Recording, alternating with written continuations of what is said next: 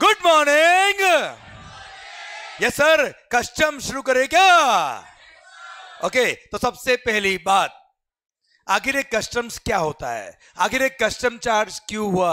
Basic fundamental क्या custom का? सबसे पहले हम वो बात करेंगे। दिल थाम के सुनना this session is very important session बेटा।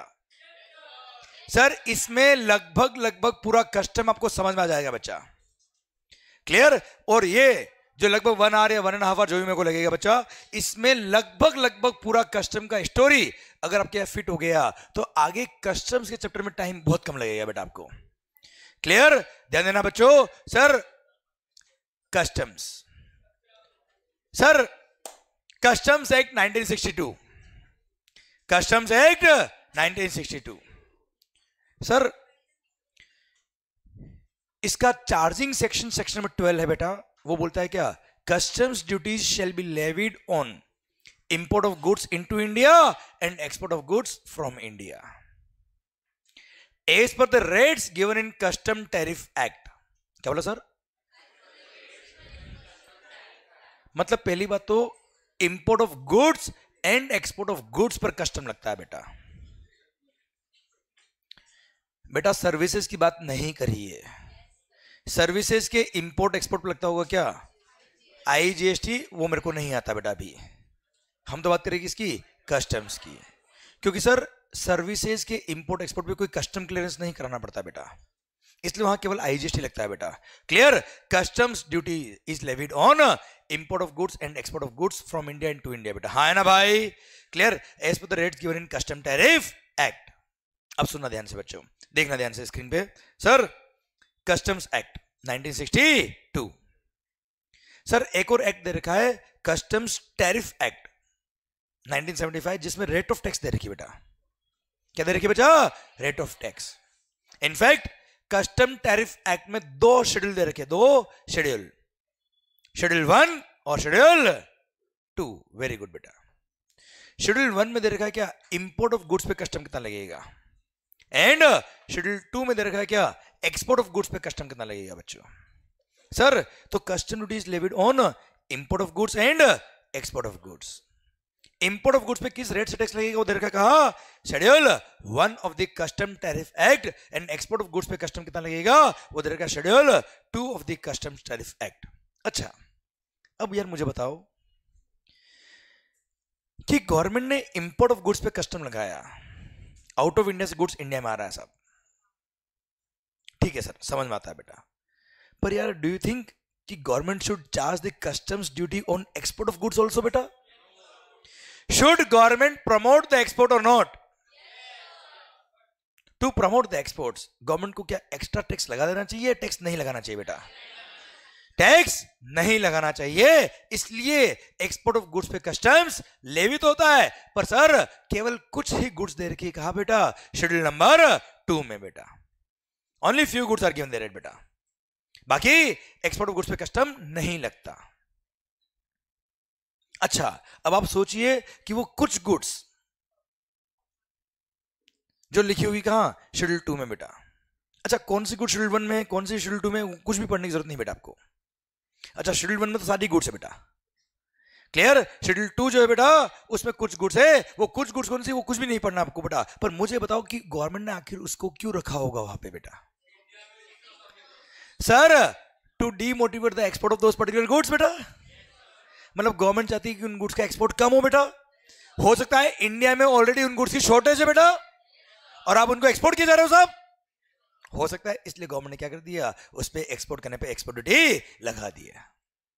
आप बात समझ लो बच्चों मेरी आप? क्लियर अरे क्लियर ठीक सर। तो सर, आप मुझे बताओ मेजरली बात करें अगर हम बेटा। अगर हम मेजरली बात करें तो कस्टम्स का रेवेन्यू मेजर कहाँ से आएगा बेटा? आवाज़ रही देखो यार। इंपोर्ट ऑफ़ गुड्स से मेजर रेवेन्यू आएगा। एक्सपोर्ट ऑफ़ गुड्स से रेवेन्यू आता है, पर कुछ गुड्स में आता है, थोड़ा सा आता है बेटा। तो यू टेल मी कस्टम्स के मेजर जो प्रोविज़न होंगे, वो भी किसको रिवोल्व करेंगे बेटा? इंपोर्ट नो डाउट एक्सपोर्ट के लिए भी प्रोविज़न दे रखे, वो भी हम पढ़ेंगे बच्चों। पर सर कस्टम्स का मेन रेवेन्यू कहा जा रहा है? Import of goods mainly control किसको करना है? इंपोर्ट को. मेनली सर गवर्न किसको करना है? इंपोर्ट को. क्लियर नो डाउट एक्सपोर्ट को भी करना है बेटा। बट सर मेन प्रोविज़न जो है वो किसके लिए बेटा? इंपोर्ट के लिए तो सर शुरू करें क्या हम कस्टम्स बेटा?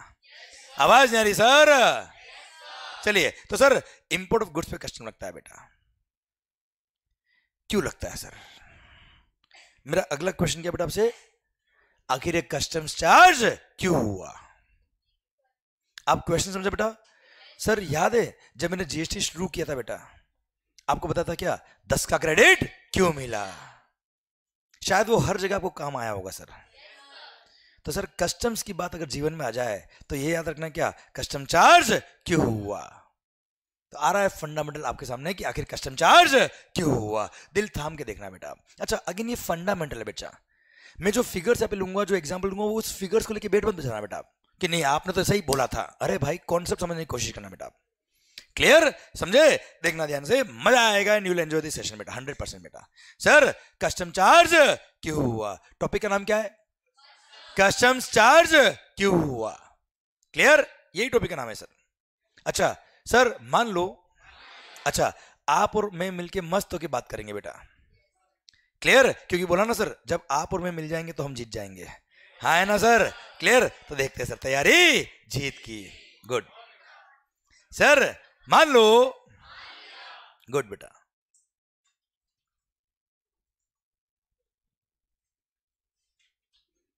मान लो आपने कोई गुड्स इंडिया में बनाया।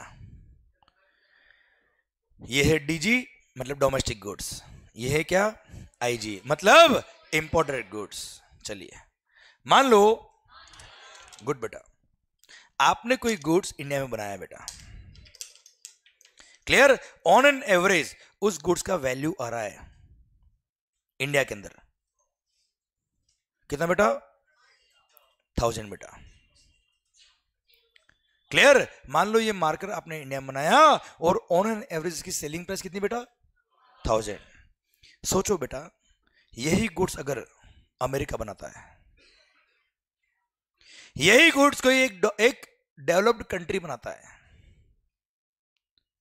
जहाँ इकोनॉमीज ऑफ़ स्केल पे प्रोडक्शन होता है फिक्स्ड कॉस्ट ऑलरेडी एलोकेट हो रखी है वेस्टेज बहुत कम है टेक्नोलॉजीज़ एडवांस्ड है। टेक्निकल सपोर्ट अच्छा है। इंफ्रास्ट्रक्चर बेनिफिट्स बहुत अच्छे हैं बेटा। डेफिनेटली अगर ऐसी कंट्री वो गुड्स बनाएगी सेम गुड्स आप मुझे बताओ, यही गुड्स अगर अमेरिका बना सर इसका वैल्यू क्या है? उतना ही आएगा बेटा? कम आएगा बेटा? मान लो इसका वैल्यू कितना रहा बेटा?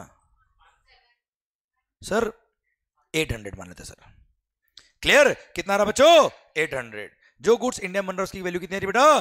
थाउज़ेंड वही गुड्स अगर आप यूएसए से इंपोर्ट करोगे तो कितने में आएगा बेटा? एट हंड्रेड आप कौन सा परचेस करोगे बेटा? सर सेम गुड्स जो इंडिया रहा कितने में? थाउज़ेंड में. वही आउट ऑफ़ इंडिया से इंडिया में आ रहा कितने में बेटा? टू हंड्रेड में. आप मुझे बताओ, आप कौन सा परचेस करोगे?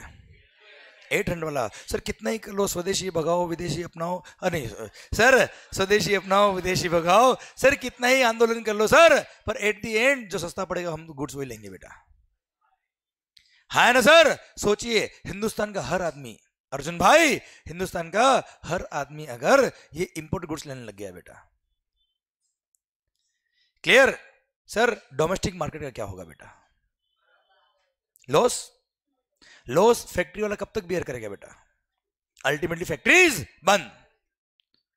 सर देश की लगभग लगभग सारी फैक्ट्रीज बंद तो अल्टीमेटली क्या होगा बेटा? अनएम्प्लॉयमेंट अल्टीमेटली पॉवर्टी बेटा? अब लोगों के पास सर पैसा नहीं है। हाँ है ना बेटा? अल्टीमेटली एजुकेशन नहीं हो पाएगी बेटा। क्लियर सर ना पैसा, ना एजुकेशन अल्टीमेटली आदमी क्या करेगा? भूखा मरेगा बेटा। क्लियर पॉवर्टी एरेडिकेशन सर कोई एम्प्लॉयमेंट नहीं बेटा। हाँ है ना भाई? सर अल्टीमेटली डेवलपमेंट कैसे होगा बच्चों? आप मुझे बताओ, आदमी करेगा तो क्या रहेगा क्या बेटा? सर अरे अपने लिए नहीं, अपने बच्चों के लिए कुछ तो करेगा। क्या करेगा मुझे बताओ बेटा? चोरी करेगा बेटा, ये देखो आप। क्लियर क्राइम करेगा सर कहा चोरी करने, कहा जाएगा? पास के गाँव में चोरी करने गया बेटा। पूरे देश की हालत ऐसी बेटा। जहाँ चोरी करने गया, वहाँ आदमी पहले से रो रहा था बेटा, दो सौ रुपए जेब में तो वो भी देखे गया बेटा। हाँ है ना? आप मुझे बताओ। अब आदमी चोरी भी करेगा तो कहाँ करेगा बेटा? आउट ऑफ़ इंडिया जाएगा बेटा? मतलब आप अल्टीमेटली इंटरनेशनल चोर बन जाओगे। अल्टीमेटली धीरे धीरे आपका टेररिज्म बढ़ जाएगा एंड आप अल्टीमेटली क्या बन जाएँगे? टेररिस्ट है ना भाई? क्लियर सर आप सोचिए। सर आपने अगर डोमेस्टिक गुड्स को नहीं बचाया तो अल्टीमेटली हमारे देश के लोग क्या बन जाएँगे बेटा? टेररिस्ट इतने बोले बोले इतने प्यारे, इतने सुंदर लोग क्या बन जाएँगे बेटा? टेररिस्ट सर सोचिए आप ध्यान से। सोचिए आप ध्यान से। सर ऐसे केस में अगर आपने इंपोर्टेड गुड्स इंपोर्ट किया तो देश का कितना बड़ा नुकसान होने वाला बेटा? बहुत ज़्यादा बेटा। क्लियर मतलब ये सौम्य जैसी लड़कियाँ भी बेटा टेररिस्ट बन जाएगी बेटा। क्लियर सर मतलब यहाँ पे कोई जीएसटी क्लास नहीं चलेगी बेटा। क्लियर सर यहाँ पे मंगल टेररिज्म क्लास डाकू मंगल सिंह आ रहा पढ़ाने के लिए। बम कैसे फोड़ना है? सर सर, कोई दूसरा डाकू आ रहा है। सर, मिसाइल कैसे छोड़नी है? अरे है ना भाई।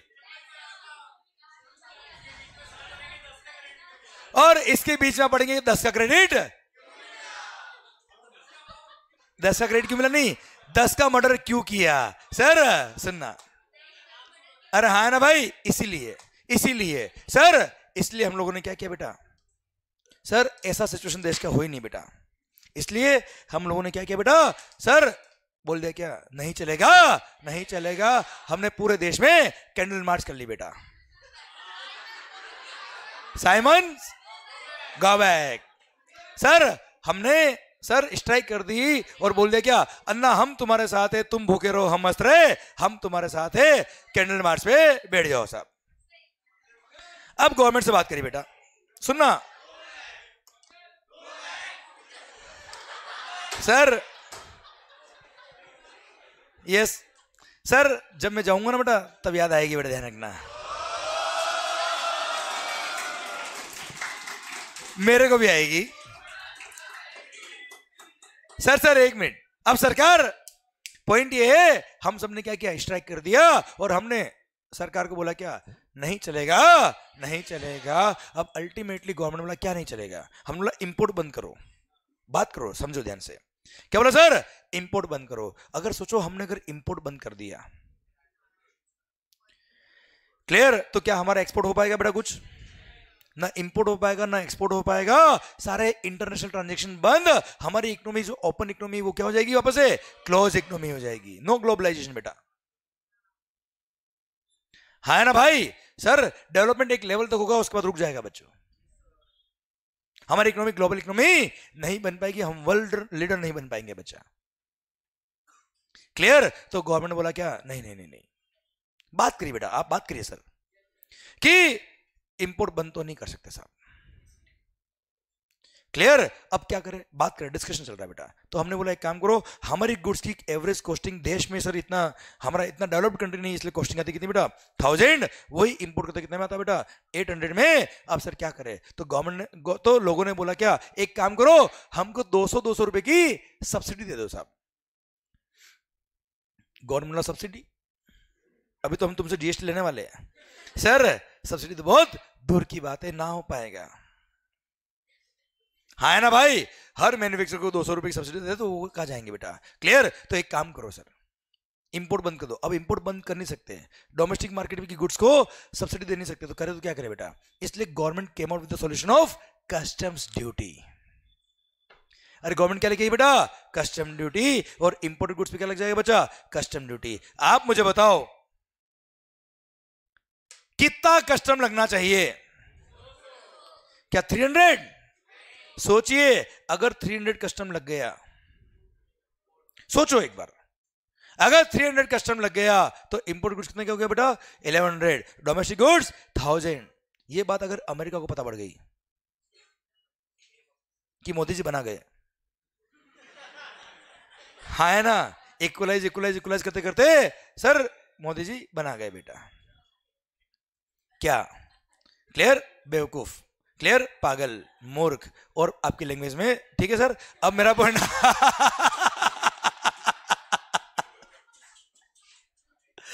सर सुनना बात ध्यान से। तो ऐसे केस में, आप मुझे बताओ। सर अमेरिका नाराज़ हो जाएगा बच्चा। अब उसको ये लग गया क्या? अच्छा अमेरिका छोड़ो, सारे देश को सारे वर्ल्ड को पता पड़ जाएगा बेटा, कि हिंदुस्तान ने हमारी गुड्स पे हैवी कस्टम लगा दिया सो दैट हमारी गुड्स वहाँ सेल नहीं हो पाए बेटा। क्योंकि उनकी सेल एकदम ड्रॉप हो जाएगी बच्चा। क्लियर और पता पड़ जाएगा उनको कि हैवी कस्टम लगा दिया। तो वो लोग भी क्या करेंगे? वो भी अपने देश के अंदर बोल देंगे, क्या? इंडिया से अगर गुड्स आए तो इतना कस्टम लगाना साहब कि गुड्स कोई खरीदे ही नहीं बेटा पे। क्लियर अल्टीमेटली बात वही आ जाएगी बच्चा। तो 300 कस्टम चार्ज हो नहीं सकता है बेटा। तो कितना लगाएँगे बेटा? मान लो थाउज़ेंड लगा मान लो हंड्रेड लगाया बेटा। तो सर अल्टीमेटली आप क्या बन जाओगे बेटा? टेररिस्ट क्लियर समझे मेरी बात? क्योंकि क्योंकि डोमेस्टिक गुड्स बिल्कुल बर्बाद हो जाएगी बच्चा। हाँ है ना भाई? क्लियर इसलिए आप मुझे बताओ कस्टम कितना लगना चाहिए बेटा? आवाज़ जा रही हो क्लियर कस्टम कितना लगेगा बच्चा? 200 क्यों 200 बेटा? Sir so that imported goods domestic goods के इक्विवेलेंट आ जाए बच्चा। ना महँगा हो, ना सस्ता हो। तो आप मुझे बताओ कस्टम चार्ज क्यों हुआ? आप बात समझ रहे मेरी बेटा? कस्टम चार्ज क्यों हुआ? To equalize the imported goods with domestic goods custom charge हुआ बेटा। प्लीज़ सर ये वो फंडामेंटल चल रहा है जिसके बेसिस में पूरा कस्टम पढ़ा दूँगा बेटा, आपको ध्यान रखना। ठीक है? आपके बैक ऑफ़ द माइंड में हमेशा होना चाहिए कस्टम चार्ज के बाद, दिल थाम के सुनना, मज़ा आएगा सर आपको। पता है, यही थोड़ी देर पहले हम क्या सोचते थे? कस्टम चार्ज क्यों हुआ? इंपोर्ट को महँगा करने के लिए इंपोर्ट को डीमोटिवेट करने के लिए इंपोर्ट को कम करने के लिए बेटा। एक आम जनता यही सोचती बेटा। अगर ये विजन होता तो हमारा एक्सपोर्ट भी नहीं हो पाता बेटा। कोई ग्लोबलाइजेशन नहीं हो पाता बच्चों। क्लियर कस्टम चार्ज क्यों हुआ? टू इक्वलाइज हाँ है ना भाई? To equalize the imported goods with the domestic goods custom charge हुआ। क्या बोला सर आपके बैक ऑफ़ द माइंड में, आपके बैक ऑफ़ द माइंड में कस्टम आए और सामने जाना चाहिए क्या? कस्टम चार्ज क्यों हुआ? टू इक्वलाइज द अच्छा to equalize the domestic goods with imported goods नहीं रहे। To equalize the imported goods with domestic goods custom charge हुआ। बोले, सर तो लाइफ में अगर कभी भी किसने ऐसे किया है मतलब उसे पूछा है क्या कस्टम चार्ज क्यों हुआ बेटा? बैक ऑफ़ द माइंड से बेटा। क्लियर आपको आंसर देना है क्या? कस्टम चार्ज क्यों हुआ बेटा? To equalize the imported goods with domestic goods custom charge हुआ बेटा। हाँ ना भाई? अरे यस नो क्लियर तो सर, जैसे ही गवर्नमेंट ने टू हंड्रेड रुपी कस्टम लगाया, सर, हमारी गुड्स थाउज़ेंड की, उनकी भी गुड्स कितने की? थाउज़ेंड की। वही कैंडल मार्च खत्म। और बोला कि, आ, देखे जरा किसमें कितना है? दम। सर, और लग गया क्या? अब सर, ओके। सर तो डोमेस्टिक गुड्स कितने का बेटा? थाउज़ेंड का बेटा। इंपोर्टेड भी कितना बेटा? थाउज़ेंड का बच्चा। हाँ है ना भाई? अच्छा अब सर, थोड़ा सा फिगर चेंज करो बेटा, मैं ध्यान देना। सर कस्टम ड्यूटी पर सोशल वेलफेयर सरचार्ज भी लगता है बेटा। क्या लगता है बच्चा? सोशल वेलफेयर सरचार्ज भी लगता है। कितना? Ten percent of custom duty बेटा। ठीक है, इसलिए फिगर चेंज करा बेटा मैं यहाँ पे। यह लिख रहा हूँ क्या? 182 बेटा। Sir social welfare surcharge at the rate of 10 percent of custom duty बेटा। कितना होता बेटा? 18 मान लो बेटा। सो so दैट अपने फिगर बराबर हो जाए बेटा। अच्छा सुनो। मैं जो यह फिगर ले रहा हूँ बेटा ये केवल आपका कॉन्सेप्ट समझाने के लिए ले रहा हूँ बेटा। देखो अल्टीमेटली आउट ऑफ़ इंडिया वाले लोग इंडिया में आके काम कर रहे बच्चा एक तरह से। क्लियर आज देश में रोड किसने बनाई बेटा? गवर्नमेंट कौन? हम लोग। हमने फंड लेके हमने रोड बनाई, हमने सर रेलवे बनाई, हमने एयरपोर्ट बनाए और बाहर के लोग आके मज़े लेके चले जाए बेटा। तो उनसे भी तो कुछ शेयर ऑफ़ रेवेन्यू लेना चाहिए यार। That is what is called custom बेटा। पर कितना ले? लूट लो ऐसा, मारो इनको ऐसा। कितना ले बेटा? उसका एक मैकेनिज्म हम पढ़ रहे बच्चों। क्लियर सर एक मैकेनिज्म हम समझने की कोशिश करें कि आखिर कस्टम कितना बेटा। अच्छा सेकंड थिंग ध्यान देना बेटा, मैं कॉन्सेप्ट पढ़ रहा हूँ बेटा, ये केवल एक कॉन्सेप्ट समझाने के लिए आखिर कस्टम कितना लगा, क्यों लगाया गवर्नमेंट ने बेटा? अब आप मुझे बताओ, कोई कार है बेटा जो इंडिया में बनती नहीं बेटा? या कोई गुड्स है जो इंडिया में बनता ही नहीं, पर आउट ऑफ़ इंडिया में बनता है बेटा वो? अब वो इंडिया में आ रहा है बेटा। तो क्या उसमें कस्टम नहीं लगाएँगे क्या? लगाएँगे ना यार। तो एकदम वर्ड टू वर्ड में मैच करना, सर, उसको किससे इक्वलाइज करेंगे? अरे भाई। क्लियर सर समझे मेरी बात? एक इकोनॉमी के अंदर कौन सी गुड्स आप यूज़ कर रहे हो? कौन सा सेक्टर उसको यूज़ कर रहा है? कौन से लोग उसको यूज़ कर रहे हैं? उसमें गवर्नमेंट को उसको गुड्स को महँगा करना है, सस्ता करना है, क्या करना है? ये सब पॉलिसीज़ को ध्यान में रखते हुए गवर्नमेंट क्या करता है? कस्टम फिक्स करता है बेटा। अरे क्लियर? चलिए सर। तो सारे लोग खुश। कैंडल मार्च वही खत्म। और सर लोगों ने बोला क्या? आ देखे जरा किसमें कितना है? दम। जैसे ही लोगों ने गुड्स बन, बनाना चालू किया फैक्ट्री चालू हुई हिंदुस्तान में। जैसे ही गुड्स बेचा क्या लग गया बेटा? जीएसटी कितना बेटा? 18 परसेंट। और कितना लग गया भाई? Eighteen percent. कितना होता बेटा? वन एटी बेटा। नहीं thousand into eighteen percent one eight zero बेटा। क्लियर अच्छा टोटल नहीं पूछा मैंने आपसे। क्लियर वन एटी क्या लग गया बेटा? जीएसटी अब मुझे बताओ डोमेस्टिक गुड्स कितने का हो गया बेटा? वन वन एट ज़ीरो और सर इंपोर्टेड कितने का बेटा? थाउज़ेंड अब आप कौन सा खरीदोगे बेटा? अब तो कोई कैंडल मार्च नहीं बेटा। इस बार तो मशाल लेके पहुँच गए। नहीं चलेगा नहीं चलेगा। अन्ना, हम तुम्हारे साथ है, तुम भूखे रहो, हम मस्त रहे। हम तुम्हारे साथ है, इसलिए to equalize the imported goods with the domestic goods in respect of GST government एक एडिशनल सेक्शन लेके आई। Additional custom duty under section number three subsection seven of custom tariff act और उसके थ्रू इन्होंने चार्ज कर दिया। क्या? I GST at the rate of 18 percent जो rate GST की इंडिया में होगी, वही रेट यहाँ लग जाएगी। इसलिए आईजीएसटी एक जो बनाया sir section number five sub section में प्रोवाइज वाला चार्जिंग सेक्शन में, और बोला क्या, अगर कोई गुड्स आपने आउट ऑफ़ इंडिया से इंडिया में इंपोर्ट करी तो along with the customs IGST भी लेवी होगा। हाँ है ना भाई? क्लियर कितना हो गया बेटा? 180 क्लियर अब कौन सा गुड्स परचेज करोगे बेटा? आ, देखे जरा किसमें कितना है? दम। क्लियर कस्टम चार्ज क्यों हुआ? टू इक्वलाइज हा है ना भाई? क्लियर पर सर देश कौन सा बेटा? इंडिया सर ये आपने मान लो कार बनाई थी बेटा। क्या बनाई थी बेटा आपने? कार या मान लो आपने तंबाकू बनाते सिगरेट बनाई थी बेटा आपने। उस पर क्या लगता है बेटा?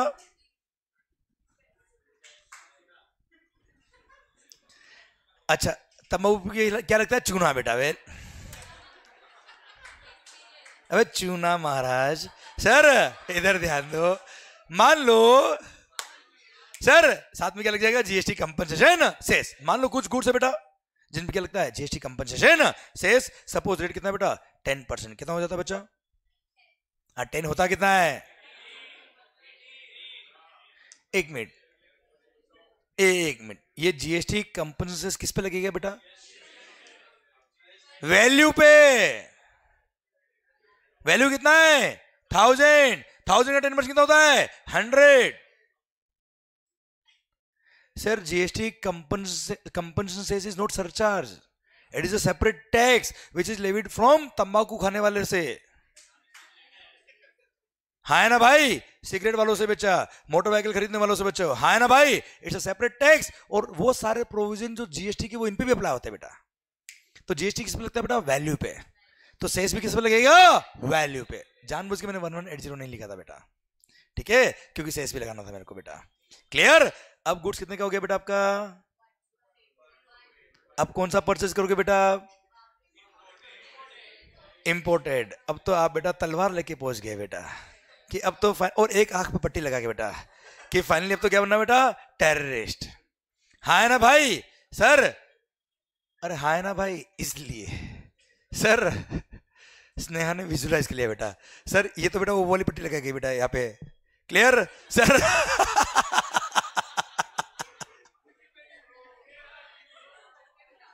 सर।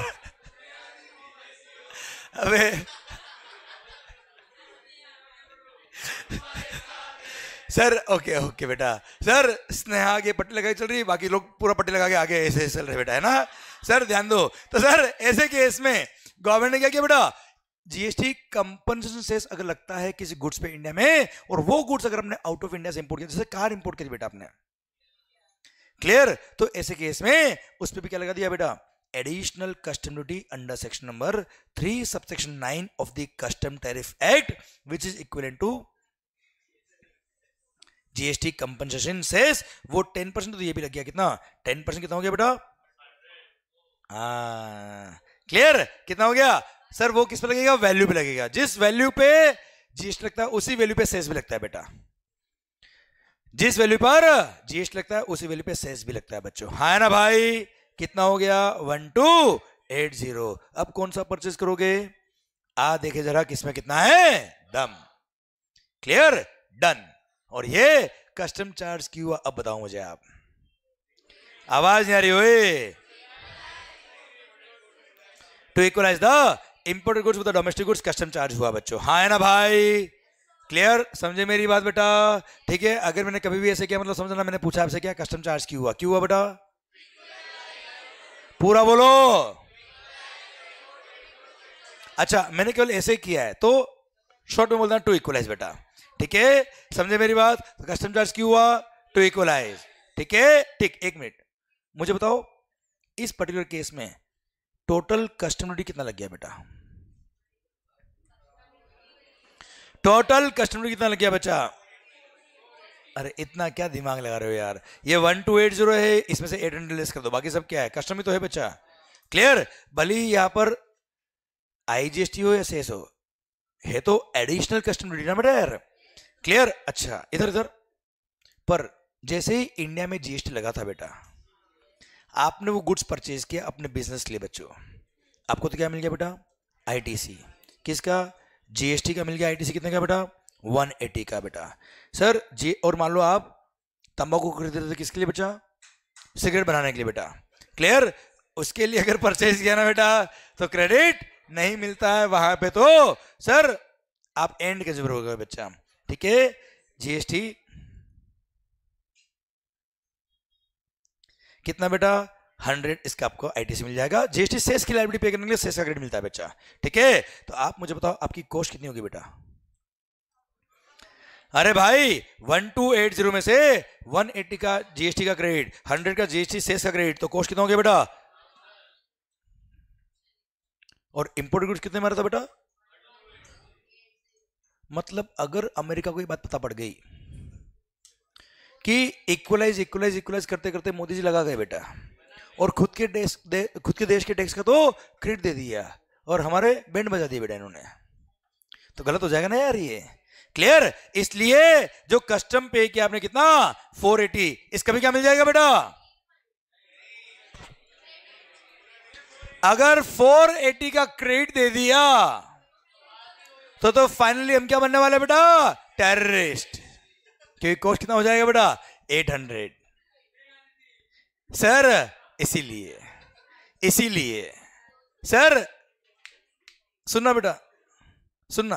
अरियन भाई, इसीलिए। सर, इसीलिए गवर्नमेंट बोल दिया क्या? ध्यान से लैंग्वेज सुनना बेटा प्लीज़ सर देखो, मैं शुरुआत से लैंग्वेज अगर परफेक्शन से बोलूँगा ना, और उसी परफेक्शन से अगर आप सुनोगे तो आगे जाके चीज़ें अपना आप सोल्व हो जाएगी बेटा। आपको लाइन जैसे मेरी याद आएगी, बोला हाँ हाँ सर ने बोला था, सर। क्लियर इसीलिए। क्या बोला, सर?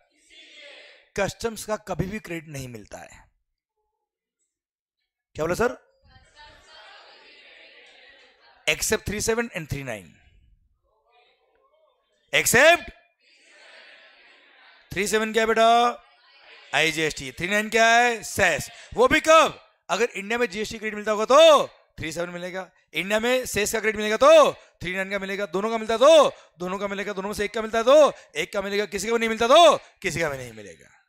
अच्छा वैसे भी यहाँ पे थ्री सेवन थ्री नाइन को डायरेक्ट लिंक कर दिया किससे जीएसटी से बेटा। थ्री सेवन को बोलते ही क्या है? आई जीएसटी तो जीएसटी मिलता होगा तो इसका भी मिल जाएगा क्रेडिट बेटा। क्लियर सेस बोल दिया बेटा थ्री नाइन को बेटा। सेस का मिलता होगा तो ये भी सेस तो है बच्चों। हाँ है ना भाई? और मेरे इस एग्ज़ाम्पल में सिंस दोनों का मैंने क्रेडिट लिया, इसलिए आप भी आई से लेंगे किसका बेटा? थ्री सेवन में जो जीएसटी पे किया वो? और सेस पे किया आपने किसमें?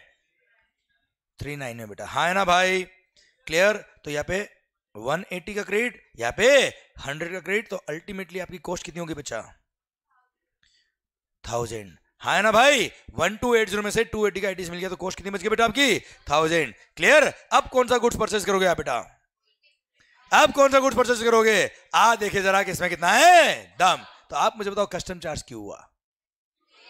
To equalize the imported goods with domestic goods custom charge हुआ। बोले सर हाँ ना मालिक।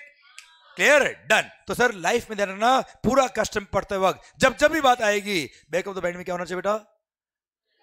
कस्टम चार्ज क्यों हुआ। टू इक्वलाइज बेटा। क्लियर डन चलिए सरकार, आगे बढ़ते हैं हम। सर, यहाँ तक समझ में आया क्या बेटा आपको? अरे, मज़ा आया कि नहीं आया भाई? यस गुड बढ़िया। बहुत अच्छा बेटा। सर इधर इधर हाँ बहुत मज़ा आ गया बेटा। वेरी गुड मान लो इधर इधर इधर, होशियारी। मान लो। गुड बेटा। सुनो सुनो बेटा। लवेश सुनना बेटा। Sir, in case of GST क्या बोला sir? In case of GST इधर नज़र। सर, ये हमने पढ़ा कि कस्टम चार्ज क्यों हुआ? अब एक काम करते हैं। थोड़ा सा कस्टम समझते कि आखिर कोई गुड्स अगर आपको इंपोर्ट करना है बेटा तो कैसे इंपोर्ट होगा बेटा? इंपोर्ट का सिस्टम तो देखिए बेटा एक बार। कस्टम पढ़ लेंगे यार, पढ़ने में क्या टाइम लगेगा? कोई टाइम नहीं लगता बेटा। पर एक बार सिस्टम समझ तो ले, आखिर कस्टम होता क्या बच्चों यार? क्लियर कोई गुड्स इंपोर्ट करके देखते बेटा अपन, कैसे इंपोर्ट होता है बेटा? समझते सिस्टम को बच्चों ध्यान से। क्या बेटा? क्या बेटा? सिस्टम कुछ भी बेटा मतलब। सर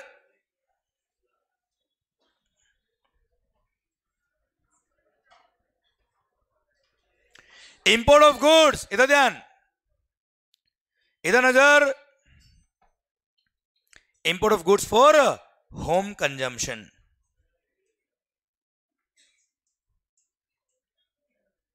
अच्छा होम कंजम्पशन मतलब घर पे लाए खाने के लिए ना बेटा मशीन इंपोर्ट करी क्यों खा जाओगे ना बेटा अरे होम कंजम्पशन मतलब डोमेस्टिक मार्केट में लाने के लिए बेटा क्लियर डोमेस्टिक मार्केट मतलब फैक्ट्री में काम लो या घर पे काम लो बेटा, ठीक है? इधर।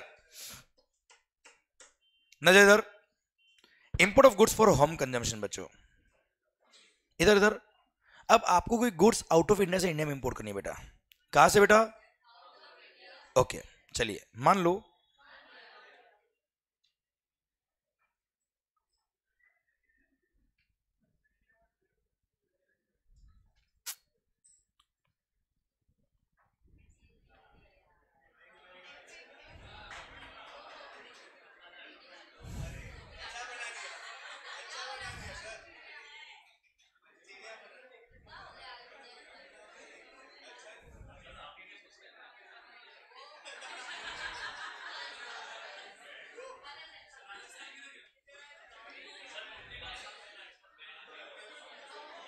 okay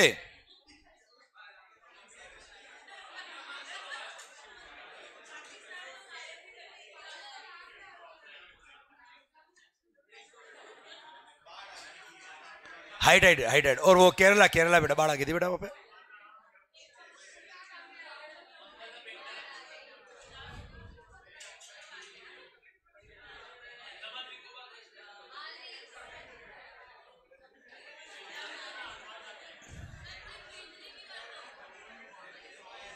okay okay okay okay sir मान लो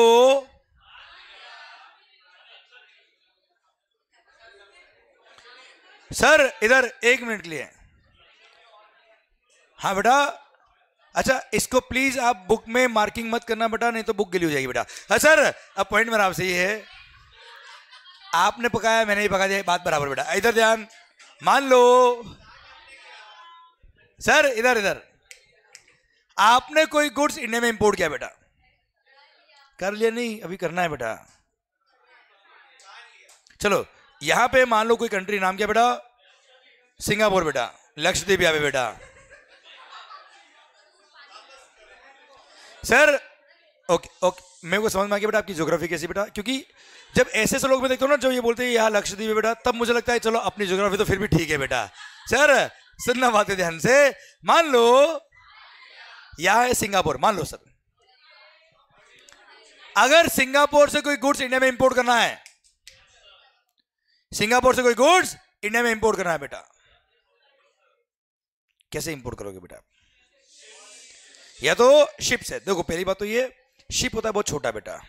जब बड़े बड़ी गुड्स बड़ी बड़ी मशीन होती तो बड़े जहाज़ चाहिए होते हैं, उसको बोलते हैं वैसल क्या बोलते सर वैसल अब सर मैंने मैंने अजम्पन लिया है कि अपने पहली बार पढ़ रहे बेटा अपन। हमको कुछ भी नहीं आता कस्टम बेटा। ठीक है? नहीं आता सर अपने को राइट फ्रॉम द स्क्रैच हर एक चीज़ समझनी बच्चों। ठीक है? ध्यान से बच्चों। सर इधर ध्यान इधर ध्यान। आराम से। मस्त होके पढ़ना, मज़ा आएगा sir you really enjoy it sir मान लो। गुड बेटा। And sir please maintain the concentration मज़ा लेंगे। हम सब मिलके मज़ा लेंगे बेटा। अकेले अकेले मज़ा नहीं लेना बेटा। क्लियर किसके टॉपिक है बेटा? ठीक है? ध्यान इधर ध्यान इधर ध्यान इधर। सर आउट ऑफ़ इंडिया से गुड्स आ रहा है। कैसा आएगा बेटा? Import may be by vessel it may be by aircraft और अगर नियर बाय कंट्री है तो बाय रोड भी आ सकता है। बाय रेलवे भी आता है बेटा। बाय रेलवे भी इंपोर्ट एक्सपोर्ट होता है। याद करो बेटा। मुन्नी मुन्नी याद है बेटा? क्लियर वो कौन सी वाली ट्रेन में आई थी बेटा? वो मालगाड़ी में थी। याद है बेटा आपको? पैसेंजर वाले व्हीकल वो ट्रेन में नहीं आई थी बेटा। ट्रांसपोर्ट हाँ? अरे क्लियर? सर, इधर ध्यान। इसीलिए। सर, इधर ध्यान। इसीलिए। सर, एक मिनट। सर, आप प्लीज़ सर, ध्यान देना। मैं क्या कर रहा हूँ टॉपिक के अपन मज़े लेंगे। ध्यान इधर होना चाहिए। मस्त हो गया, मस्त हो गया। पर ध्यान इधर पूरा। सरकार तो इंपोर्ट में भी बाय रोड इट में भी bye vessel it may be by railway also बेटा इट में भी बाय एयर ऑल्सो बच्चों। हाँ ना भाई? चलिए, अब सिंगापुर से आ रहा है तो हम अच्छा प्रोसीजर सबके लिए सेम है बेटा। ठीक है? सर, चलो, हम मान लेते हैं वेसल से आ रहा है बेटा गुड्स चलिए, सिंगापुर से गुड्स निकला बेटा ऐसे वेसल निकला बेटा। कहाँ पे आएगा बेटा ये? कहाँ पे आएगा बेटा? क्या इसकी मर्ज़ी पर चला जाएगा क्या?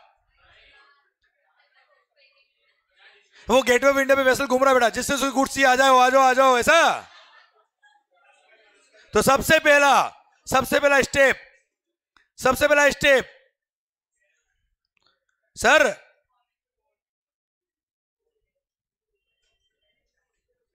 Appointment of ports airports land से आता तो लैंड कस्टम स्टेशन एटसेट्रा बेटा। ठीक है? ये था section number seven of the customs act बेटा। क्लियर सबसे पहले क्या अपॉइंट होगा बेटा? पोर्ट अपॉइंट होंगे बेटा। तो सीबीआईसी ने क्या किया है? सर गवर्नमेंट ने क्या किया है? पोर्ट अपॉइंट किया बेटा। अरे क्या अपॉइंट किया बेटा? पोर्ट जहाँ से import export will take place बेटा। आप देखे ना मुंबई बेटा मरीन ड्राइव्स कि वहाँ पे पैसा ला सकते हैं क्या बेटा कोई गुड्स समझे मेरी बात? यस तो इसके लिए डेजिग्नेटेड पोर्ट होते हैं बेटा। है ना बेटा? ध्यान दे बेटा, वो वैसल नहीं आया था बेटा पर। और उसमें गुड्स नहीं आए थे बेटा, है ना? यस सर जो आया था उसको हम याद नहीं करना चाहते बेटा। सर कसाब आया था ना बेटा यार? मैं भी साथ ही आया था बेटा। और आपकी किस्मत देखो बेटा, उससे आप पढ़ रहे हो बेटा। सर, सुनना बात है ध्यान से बेटा। ताकि आप टेररिस्ट ना बने बेटा। वेरी गुड बेटा, मीत, एक बार पापा का नंबर देना मेरे को बेटा। सर, सुनना, मान लो। अरे, इधर ध्यान दो। सर, इधर ध्यान। मान लो, सबसे पहले गवर्नमेंट ने क्या किया बेटा? पोर्ट अपॉइंट किया बेटा। ये पोर्ट है, मान लो ये पोर्ट ये पोर्ट यहाँ पे पोर्ट यहाँ पे पोर्ट बेटा। Clear government point port appoint किया बेटा। ठीक है? अब सर पोर्ट अपॉइंट हो गए बेटा। एयरपोर्ट सर बाय लैंड अगर आता तो लैंड कस्टम स्टेशन अपॉइंट होते बेटा। ठीक है? बाय एयर आता तो एयरपोर्ट अपॉइंट होते, जहाँ से कस्टम क्लियरेंस होगा बेटा। ठीक है? अब क्या होगा बेटा? पोर्ट अपॉइंट हो गए। सुनना बच्चों सेकंड स्टेप एक सेक्शन बना रखा पूरा, जहाँ पे person in charge of the conveyance को बुलाया क्या? You will arrive only at the fixed places जो पोर्ट हमने अपॉइंट किया अंडर सेक्शन नंबर सेवन, उन्हीं पोर्ट पे आप आ सकते हो कहीं और। आप लैंडिंग नहीं कर सकते हो, except in case of emergency बेटा। अब सोचिए कोई इमरजेंसी है, वो बोले, नहीं, मैं तो पोर्ट पे ही जाऊँगा, बाकी जाए तो जाए, कोई बात नहीं। Clear so in case of emergency emergency lending can be done anywhere in India, पर intimation will be given to the nearest police station या custom department बेटा। And अगर emergency lending करी भी है तो he will not allow any of the passenger, any of the person to disembark from the vicinity of the vessel or any of the goods to be unloaded from the vicinity of the vessel मतलब उसे बाहर उतरने की permission नहीं देगा unless it is necessary to safeguard their life पता बड़ा आग लग रही बोल रहा, नहीं ऑफिसर को आंदे, फिर उतरना अरे पागल sir clear sir arrival at fixed places only बेटा। हाँ ना, कहीं और अराइव नहीं हो सकता। चलिए सर। सुनो, एक मिनट। अच्छा आप प्लीज़ है ना टॉपिक से बाहर मत जाइए बेटा। बस, मस्त होके पढ़िए। मज़े करेंगे, मैं कह रहा हूँ। गारंटी आपको मज़ा आएगा, सर। ठीक है? पर साथ में कॉन्सेप्ट भी पढ़ूँगा मैं आपको, बेटा। ठीक है? मस्त होके पढ़ना, बेटा। ओके अब सर, क्या हुआ है? भाई पर्सन इंचार्ज को बोला कि आपको फिक्स प्लेस पे आना बेटा। हाँ अब क्या होगा आगे, बेटा? आ गया, बेटा। फिर क्या होगा, बेटा? अनलोड करेगा, जिसके से गुड्स है बेटा वो वैसल पे चढ़ेंगे, अपने अपने गुड्स उतारेंगे और जाएँगे घर पे, है ना बेटा? बात कर रहे हो। सर, चलो एक चीज़ बताओ मुझे आप। मान लो, सिंगापुर से जब निकला था वो वेसल उसके पास वन लेक यूनिट थे बेटा यहाँ पे। वेसल पे बेटा।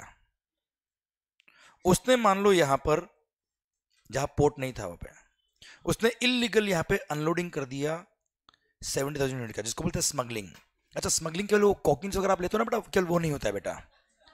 क्लियर स्मगलिंग मतलब एनी एनी मैं बोल देता हूँ बेटा। Any import of goods in contravention of the provision of the act और रूल्स मेड दर बेटा। क्लियर आपने कोई भी रूल या प्रोविज़न का कॉन्ट्रावेंशन किया मतलब वो क्या हो गया बेटा? स्मगलिंग हो गया बेटा वो। क्लियर वो स्मगलिंग के वो सूटकेस वगैरह में लाता है ना कोकिंस वगैरह क्या वो नहीं होता है बेटा। आपको पता होगा ना बेटा अमित भाई? है? नहीं पता बेटा। अच्छा सबके सामने नहीं बोलेगा बेटा। ओके। सर, सुनना। अब साहब, इधर इधर। अब सेवेंटी थाउज़ेंड यूनिट्स यूनिट्स अगर उसने यहाँ अनलोड कर दिया, और मुंबई पोर्ट पे जब वो आता है, तब बोलता है क्या? मेरे पास तो थर्टी थाउज़ेंड ही थे। ये रहे थर्टी थाउज़ेंड बेटा। तो कुछ तो कंट्रोलिंग होती होगी यार। क्लियर कि सिंगापुर से वन लेक निकला था, ये मुंबई वालों को पता तो होना चाहिए। वरना रास्ते में कहा कहा इलीगल अनलोड करके अपने पता कैसे पड़ेगा बच्चों यार? इसलिए सिस्टम बना रखा है। और बोला है क्या कि जब वो वेसल आएगा, उससे पहले वो एक रिपोर्ट फ़ाइल करेगा जिसको बोलते हैं क्या? इंपोर्ट जनरल मैनिफेस्ट क्या बोलते सर? आईजीएम मतलब?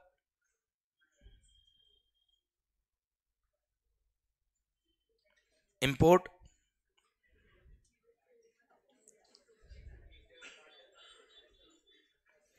import general manifest manifesto नहीं रही इलेक्शन की बात नहीं कर रहे बेटा। क्लियर इंपोर्ट जनरल मैनिफेस्ट ठीक है अच्छा कौन फ़ाइल करेगा बेटा ये? कौन लेके आएगा बेटा? Person in charge of the conveyance बेटा। कैप्टन बेटा। हाँ है ना भाई? यस तो सर थर्ड पॉइंट क्या हो गया बेटा फाइलिंग ऑफ़ आईजीएम आईजीएम का फुल फॉर्म क्या बेटा?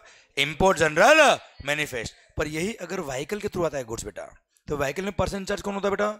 ड्राइवर अब ड्राइवर को बोले इंपोर्ट जनरल मैनिफेस्ट तो तकलीफ़ आएगी बेटा उसको? इसलिए बोले तो, तो तो रिपोर्ट बोल देना। इंपोर्ट की रिपोर्ट है बेटा ये. क्लियर इसलिए अगर व्हीकल से अगर वो आता है गुड्स तो उसको बोलते हैं क्या? Import report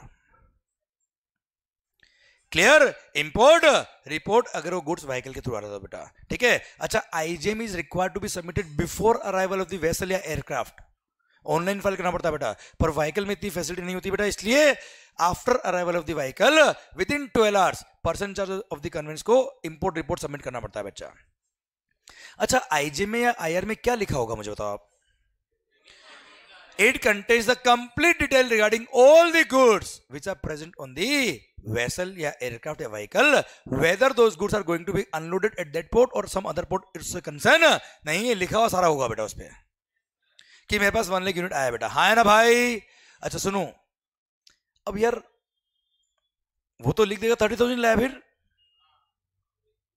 इसलिए जब यहाँ से निकलता है, तब उसी रिपोर्ट को बोलते हैं क्या? ईजीएम एक्सपोर्ट जनरल मैनिफेस्ट वहाँ का ईजीएम हमारा तो वहाँ से जब निकला होगा, तब उसने ईजीएम फ़ाइल किया होगा, वहाँ के कस्टम ऑफिसर ने वेरीफाई किया होगा ओके किया होगा, फिर निकला होगा बेटा वो। क्लियर अब वहाँ से वन लेक यूनिट लेके निकला। मुंबई में आके उसने आईजीएम फ़ाइल किया या व्हीकल के थ्रू तो आईआर फ़ाइल किया और व्हीकल होता तो एक्सपोर्ट रिपोर्ट बोलते होता उसको। ठीक है? सर उसने फ़ाइल किया, यहाँ पे आके आईजी में आईआर फ़ाइल किया। एंड सर अब क्या होगा बेटा? उसने फ़ाइल किया और बोला कि मेरे पास वन लेक यूनिट है साहब, अब बताइए। हाँ अब सोचो क्या होगा बेटा? क्या बेटा? हाँ क्या बोला बेटा? वो वन लेक का जो उसने आईजीएम फ़ाइल किया है, वो है कि नहीं है? उसने कहीं इलीगली स्मगलिंग करके अनलोड तो नहीं कर दिया कहीं बेटा? चेक तो करेगा ना यार। तो verification by verification by proper officer of custom बेटा। हाँ है ना भाई? पीओ मतलब प्रॉपर ऑफिसर बच्चा। हाँ है ना भाई? चलिए। सर, अब उसने वेरीफाई किया। एवरीथिंग फाउंड ओके अब क्या होगा? यस तो है। अब जिसकी जिस गुड्स थी वो आएगा और सर वो ले जाएगा बेटा, है ना? सर, क्या होगा बेटा? अरे, सर, अरे अनलोडिंग होगा ना बेटा। उसने वेरीफाई किया इफ़ एवरीथिंग फाउंड ओके तो वो ऑर्डर पास करेगा। ऑफिसर ऑर्डर पास करेगा कि yes now this goods can be unloaded in India उस ऑर्डर को बोलते हैं एंट्री इनवर्ट ऑर्डर क्या बोलते सर उसको? एंट्री इनवर्ड ऑर्डर कौन देगा बेटा?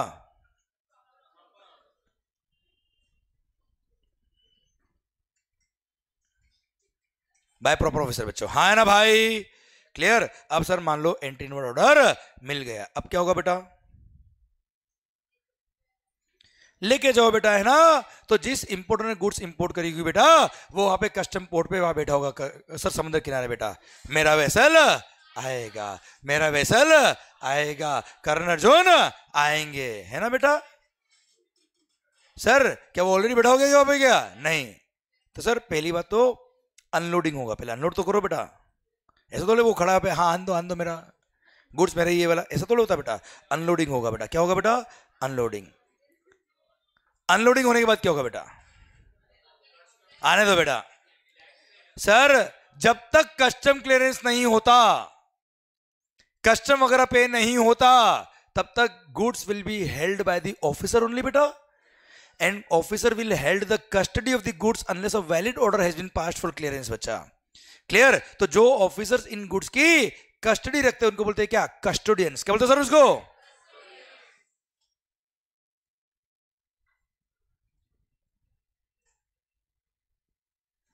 क्लियर तो आफ्टर अनलोडिंग क्या बोला sir? Goods are handed over to the custodian who will held the custody of the goods unless a valid order for clearance has been given to them बेटा ठीक है अभी गुड्स का है बेटा अरे अभी गुड्स का है कस्टोडियन के पास अब अब तो बोलो कि अब वो इंपोर्टर आएगा कब से पिछले तीन बार से बोले इंपोर्टर आएगा इंपोर्टर आएगा अरे आ गया बेटा खड़ा है वो तो बाहर बेटा अब इंपोर्टर या उसका एजेंट आएगा बेटा सी एच ए या इंपोर्टर आएगा बेटा? हाँ है ना बेटा? वो आके क्या बोलेगा बेटा? ये वाला गुड्स ये वाला गुड्स और एक काम करो हाँ ये वाला भी दे दो, लाओ। है ना बेटा? क्लियर और उसके गुड्स दे देंगे कस्टम पे करते बेटा। ऐसा? सर वेरीफाई तो करेंगे ना गुड्स उसका है कि नहीं बेटा? पता पड़ा, मंगाया किसी और ने, ले गया कोई और बेटा? क्लियर सर इसीलिए। इंपोर्टर क्या करेगा बेटा? एक डॉक्यूमेंट फ़ाइल करेगा। कस्टम क्लियरेंस के लिए उस डॉक्यूमेंट को बोलते क्या? बिल ऑफ़ एंट्री क्या बोलते सर उसको?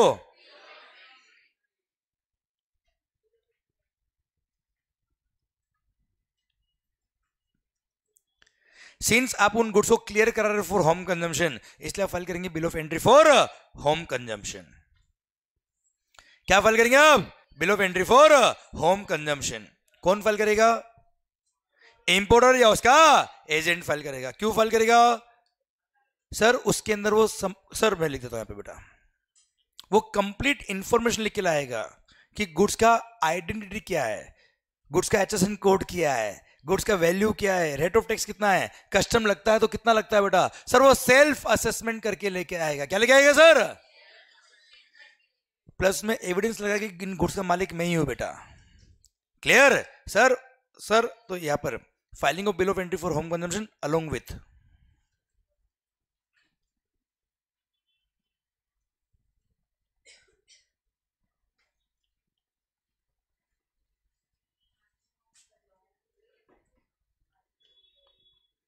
maximum possible documents to ascertain the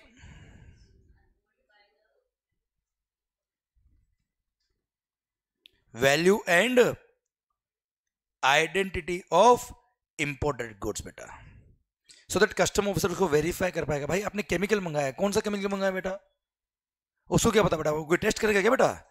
clear गया तो बेटा, इसीलिए। सर, आप वो केमिकल कौन सा, उसका एच एस एन कोड लिखोगे, उसका अगर मान लो एग्जामिनेशन कराया पे केमिकल टेस्टिंग कराई, बेटा आपने लेबोरेटरी का रिपोर्ट लगाओगे साथ में आप, बेटा। क्लियर ये सब अटैच करोगे सो दैट वो कस्टम ऑफिसर वेरीफाई कर पाए कि जो गुड्स आपने मंगाया, वो यही है, बेटा। क्लियर प्लस पे एच एस एन कोड ये है, उसका वैल्यू इतना है, उसका रेट ऑफ़ टैक्स इतना है इनवोस की कॉपी लगाओगे बच्चा साथ में। कि आपने इतने में गुड्स इंपोर्ट किया, बेटा। हाँ है ना भाई?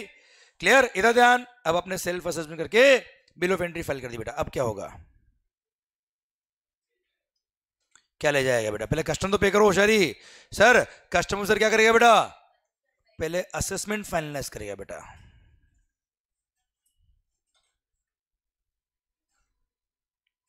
मतलब ड्यूटी का अमाउंट निकालेगा। सर, सुनो इधर ध्यान। सर, मान लो आपने बिल ऑफ़ एंट्री फ़ाइल करी बेटा। अगर उसको लगता है एवरीथिंग इज़ ओके तो उसी बिल ऑफ़ एंट्री को ओके okay करके वो रिटर्न कर देगा और उसी को बोल देंगे क्या? कि बिल ऑफ़ एंट्री में असेसमेंट हो गया। पर उसको लगता है मामला गड़बड़ है। Then he has the power to reassess the goods after giving opportunity being heard. Clear sir अब कुल मिला के असेसमेंट हो गया बेटा अब क्या होगा अरे ड्यूटी तो पे करो पहले पे करो फिर क्लियर करो बेटा यहाँ पे कस्टमर कोई मंथली पेमेंट नहीं होता बच्चा क्लियर पहले पे करो फिर ले जाओ पे फ़र्स्ट क्लियर लेटर समझे तो अब क्या होगा बेटा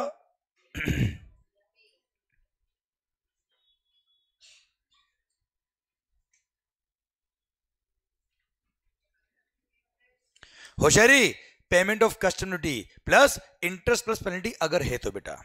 ठीक है? नहीं तो क्या ड्यूटी पे करो, ले जाओ बेटा। ठीक है? हाँ जी। ड्यूटी पे हो गया, अब क्या होगा बेटा?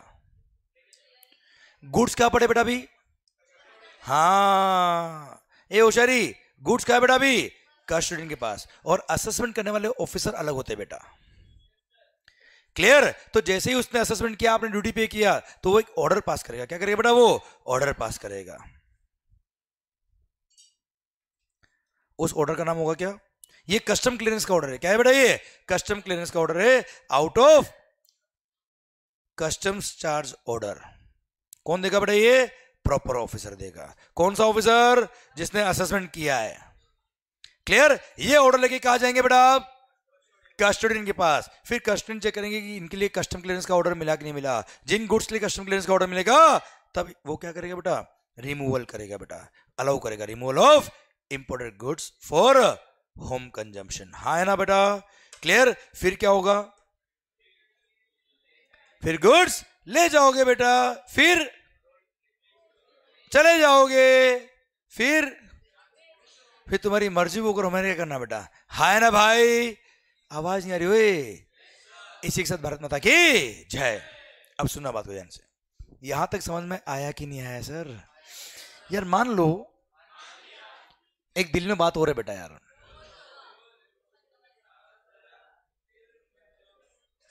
छुपा हुआ नहीं बेटा, दिल में है बेटा।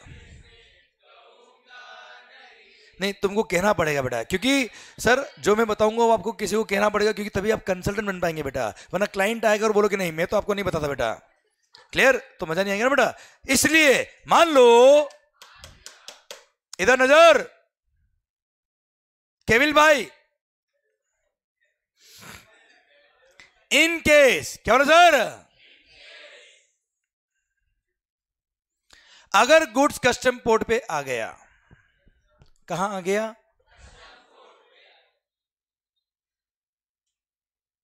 पर सर, किसी कारण से मेरे को गुड्स का अभी कस्टम क्लियरेंस नहीं कराना बेटा। सर तो क्या करूँगा बेटा मैं? कुछ नहीं करूँगा, सर, मैं वही रहेगी गुड्स, बेटा। वो कस्टमर अपनी तो वो, सर, बेटा एम्प्लॉइज है बेटा। रखेंगे ध्यान अपनी गुड्स का, है ना, बेटा? सर, ध्यान देना, अगर किसी कारण से आपने कस्टम क्लियरेंस नहीं करा विद इन थर्टी डेज़ तो heavy demurrage charge becomes payable बेटा। Heavy demurrage charge becomes payable on the on the importer बेटा। डैमरेज मतलब एक्स्ट्रा चार्जेस आपकी गुड्स का हमने एक्स्ट्रा ध्यान रखा, आपने लेट किया, हमने एक्स्ट्रा चार्ज लिया, जो हैवी चार्ज होते बच्चा। क्लियर पर मान लो हमको गुड्स अभी टेम्परेरी नहीं चाहिए दो चार महीने बाद चाहिए बेटा। तो क्या करेंगे बेटा? तो वहाँ पे कस्टम बॉन्डेड वेयरहाउस का एक ऑप्शन दे रखा है बेटा। किसका ऑप्शन है बेटा? कस्टम बॉन्डेड वेयरहाउस का। अच्छा आयुष भाई, आपके पीछे जो है। हाँ क्या नाम सर? बाहुल बाहुल। ओके तो सर सुनना सुनना तो सर ऐसे केस में किसका ऑप्शन है बेटा? अरे, एक मिनट ना यार। दो मिनट रुको। हाँ बाहुल। सर तो कब स्टोर करवाएँगे उसके अंदर? यस सर तो ऐसे केस में बोल दिया है क्या? कि अगर आपको किसी कारण से, क्या बोला सर आपको गुड्स अभी नहीं चाहिए बेटा। तो ऐसे केस में you have option of customs bonded warehouse बेटा। प्लीज़ ध्यान देना बेटा, पहले मैंने जानबूझ के अब तक आपने बीच में वेयर हाउस का नाम बोला भी था बेटा, पर मैंने नहीं बोला। क्यों? क्योंकि आपको क्लियर डिस्टिंग्विशन पता होना चाहिए कस्टोडियन में और वेयर हाउस में बेटा। कस्टोडियंस अलग ऑफिसर बेटा वेयर हाउस वाले अलग लोग है बेटा। क्लियर अब मान लो किसी कारण से आपको गुड्स अभी नहीं चाहिए, आपको कहा रखवाना बेटा गुड्स को। वेयर हाउस तो उसका सिस्टम भी देख ले बेटा हम। ओके देखना ध्यान से। ओके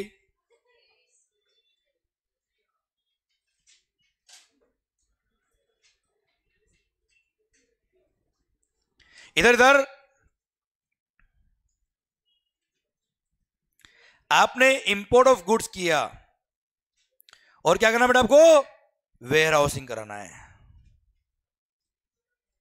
इधर होशियारी क्या करना है बेटा आपको? वेयर हाउसिंग इधर नज़र। तो सिस्टम क्या है बेटा? देख बेटा, सबसे पहली बात point number one two seven same बेटा। क्यों? देखो वन टू सेवन में क्या था बेटा पहले? कस्टम पोर्ट ओपन होंगे। अराइवल एट फिक्स प्लेसेस होगा आईजीएम फ़ाइल होगा वेरीफाई होगा। सर रिमूवल अनलोडिंग का ऑर्डर होगा एंट्री इनवर्ड ऑर्डर बेटा, फिर अनलोडिंग होगी और गुड्स कहा जाएँगे बेटा? कस्टोडियन के पास। आपका रोल तो अब पॉइंट नंबर एट से शुरू हुआ ना यार? गुड्स कहा गया बेटा? अरे गुड्स कहा आ गया? अब अब इंपोर्टर आएगा। अच्छा आएगा मतलब ऑनलाइन फ़ाइल करेगा कोई, ऐसा ज़रूरी नहीं कि वो आए बेटा। इंपोर्टर या उसका एजेंट आएगा, क्या करेगा बेटा? ऑफिसर को बोलेगा, मेरी गुड्स को वेयर हाउस में रखा जा। ऐसा? तो हेविल फ़ाइल दिल थाम के देखना। एंड सर अगले दस मिनट अगर आपने ध्यान दिया, मैं कह रहा हूँ, जीवन में कस्टमर कभी दिक्कत नहीं आएगी, मेरी गारंटी सर आपसे। क्लियर ध्यान रखना सर सर अब इंपोर्टर उसका एजेंट आएगा, वो क्या करेगा बेटा? Filing of bill of entry for warehousing अरे, क्या फ़ाइल करेगा बेटा वो?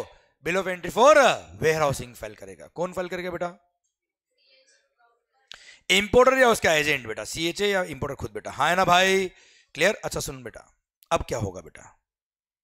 उसने बिल ऑफ़ एंट्री फ़ाइल कर दिया फॉर वेयर हाउसिंग अब क्या होगा? सोचो। सोचो, मेरे से बात करो बेटा। सर वेयर हाउस में लेके जाएँगे बेटा। फिर ठीक है यस करेक्ट और फिर क्या होगा? वेयर हाउस में ले गए बेटा। वेयर हाउस में रख दिया। अब फिर बाद में जब चाहिएगा गुड्स आओगे आओगे बेटा? जितने पीरियड सर, वो छोड़ अभी क्लियर बाद में जब चाहिए तब आओगे बेटा? आवाज़ नहीं आ रही, ओए। क्लियर फिर जब गुड्स को रिमूव करने जाओगे, उस टाइम पे अगर आपने कस्टम पे नहीं किया तो बेटा? चलो, एक चीज़ और, एक चीज़ और, एक चीज़ और नो नो नो एक मिनट, मैं मैं मैं नहीं सुनूँगा आपकी बात। पहले मेरी इस बात सुननी पड़ेगी आपको। मान लो, आपने यार bill entry for warehousing file किया बेटा। नहीं, हूँ नहीं आया यार। नहीं नहीं, अब वापस मैं बोलूँगा फिर बेटा। सर, आपने bill of entry for warehousing file किया। अब क्या होगा बेटा? क्या अभी अच्छा ये वेयर हाउस मतलब कौन से वेयर हाउस बेटा ये? Custom bonded warehouse custom control वाले वेयर हाउस है बेटा। अपने घर वाले वेयर हाउस नहीं है ये। क्लियर अब क्या होगा, सर? सर आप मुझे बताओ क्या अभी कस्टम पे करना है या जब कस्टम वेयर से निकालोगे तब कस्टम पे करना है?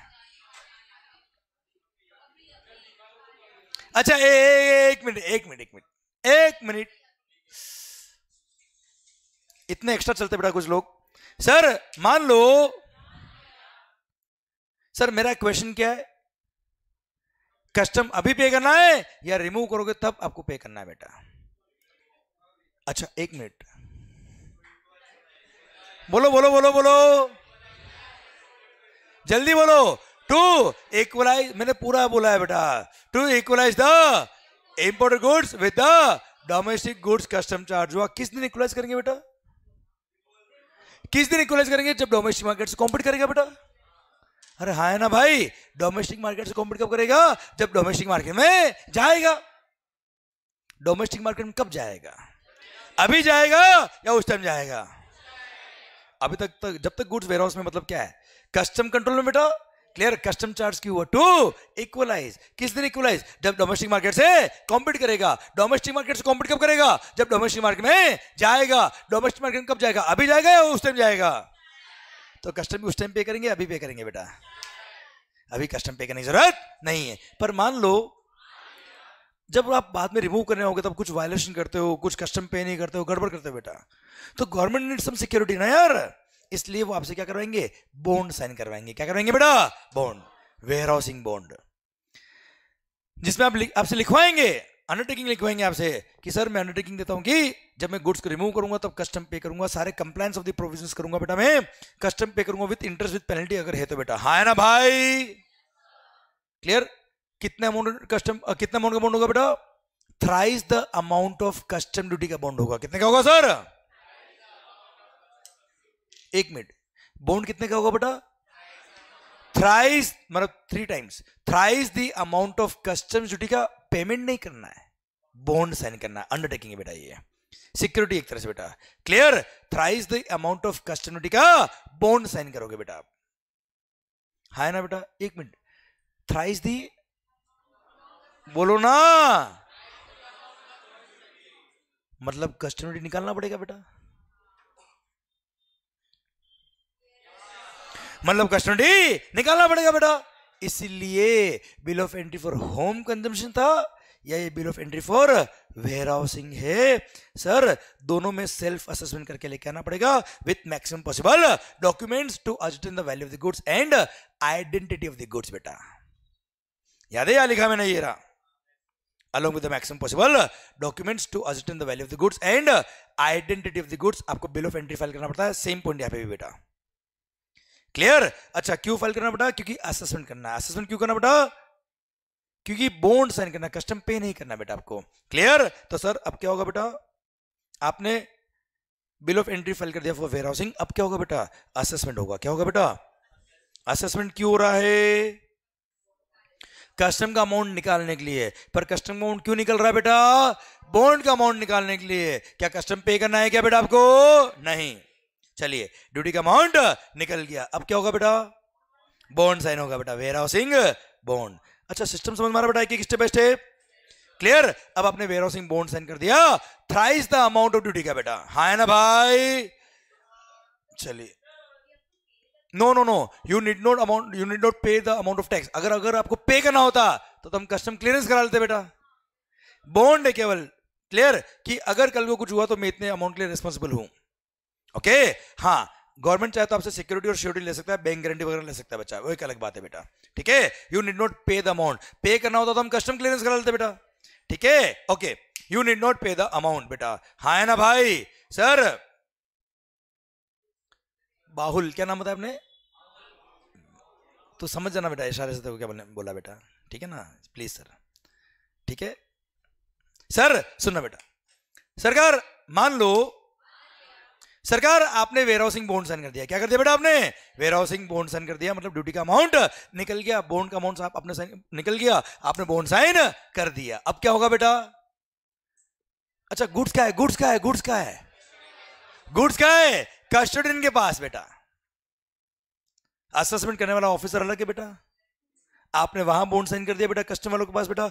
कस्टोडियन तो अपने आप में अलग लोग है यार, बेटा। डिपार्टमेंट अलग है, बेटा। सर अब क्या करोगे, बेटा? आप कस्टोडियन के ऐसे निकाल के कहा ले जाओगे, बेटा। वेयर हाउस पर कस्टोडियन आपको गुड्स लेने देंगे, बेटा। हाँ तो आपको एक ऑर्डर चाहिएगा। क्या चाहिए बेटा, आपको? Order order for removal from custodian बच्चा हाँ है ना, भाई? यस तो जैसे ही वेयर हाउसिंग बोन साइन करोगे, आपको परमिशन मिलेगी। क्या मिलेगी बेटा? परमिशन बोल दो या ऑर्डर बोल दो, एक ही बात है बेटा। परमिशन या order for where housing clear ये ऑर्डर लेके कहा जाएँगे बेटा आप? कस्टोडियन के पास। गुड्स का है बेटा अभी? कस्टोडियन के पास। फिर वो आपके डॉक्यूमेंट देखेंगे कि ये वाले गुड्स आपके हैं, इसके लिए आपको परमिशन ली जाओ साहब। फिर रिमूवल फॉर वेयर हाउसिंग है ना भाई? अब रिमूवल फॉर वेयर हाउसिंग हुआ। गुड्स रिमूव हो गए फॉर वेयर हाउस के लिए बेटा। अब क्या होगा बेटा? अभी रिमूव हुआ है बेटा गुड्स अब वेयर हाउस में जाएगा बेटा। वेयर हाउस के भी लाइसेंस ही होते बेटा इसके। Clear sir proper appointed licence ही होते अंडर कस्टम्स बेटा। क्योंकि कस्टम बॉन्डेड वेयर हाउस है विदाउट कस्टम वाला गुड्स वहाँ रख रहे हो बेटा। क्लियर वो कस्टम वो जो कस्टम के जो licensed licensed warehouse operator होंगे बेटा लाइसेंस वो क्या करेंगे? आप जब वहाँ गुड्स ले जाओगे, वो आपकी परमिशन देंगे कि परमिशन मिलेगी नहीं मिली, इसको वेयर हाउसिंग है बेटा। Clear then he will allow the warehousing of the goods बेटा। अभी गुड्स का वेयर हाउसिंग हो गया। आपको उसने एक एक्नोलेजमेंट दे कि गुड्स आपके हमने ले लिए साहब। एक कॉपी वो देगा आपको। एक कॉपी देगा उस वेयर हाउस के जुरिस्डिक्शनल कस्टम ऑफिसर को। एक कॉपी देगा किसको? उस कस्टम ऑफिसर को जिसने आपको अलाउ किया वेयर हाउसिंग ले बेटा। कि साहब गुड्स पहुँच गया वेयर हाउस में बेटा। अब गुड्स का है बेटा? गुड्स का वेयर हमने करा दिया। उसने आपको एक्नोलेजमेंट दे दिया कि आपकी इतनी गुड्स हमको रिसीव हो गई बेटा। अब क्या होगा? गुड्स वेयर हाउस में बेटा। अब अब क्या करेंगे बेटा? वही पे बेटा दरी बिछाएँगे और सो जाएँगे ना बेटा? बेटा, जी हाँ नहीं, गुड्स का वेयरहाउसिंग अलाउड हुआ। आपका वेयरहाउसिंग अलाउड नहीं हुआ बेटा। क्लियर सर आप सारे चूहों को खा जाओगे तो बेटा, इसलिए आपका वेयरहाउसिंग नहीं है बेटा। हाँ है ना भाई? अब क्या होगा बेटा आगे? अरे आप जाओगे ना? ऐसा तो नहीं, गुड्स वेयरहाउस बन गया, बाहर ही बैठे बेटा।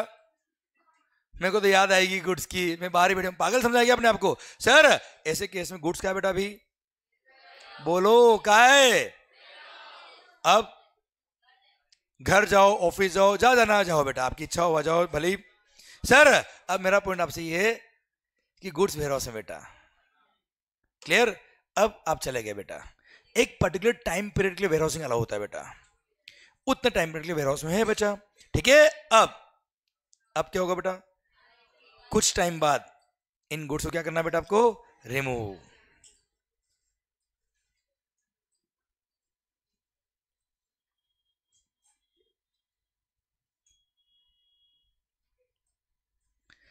removal from warehouse for आवाज़ आ रही है। फोर।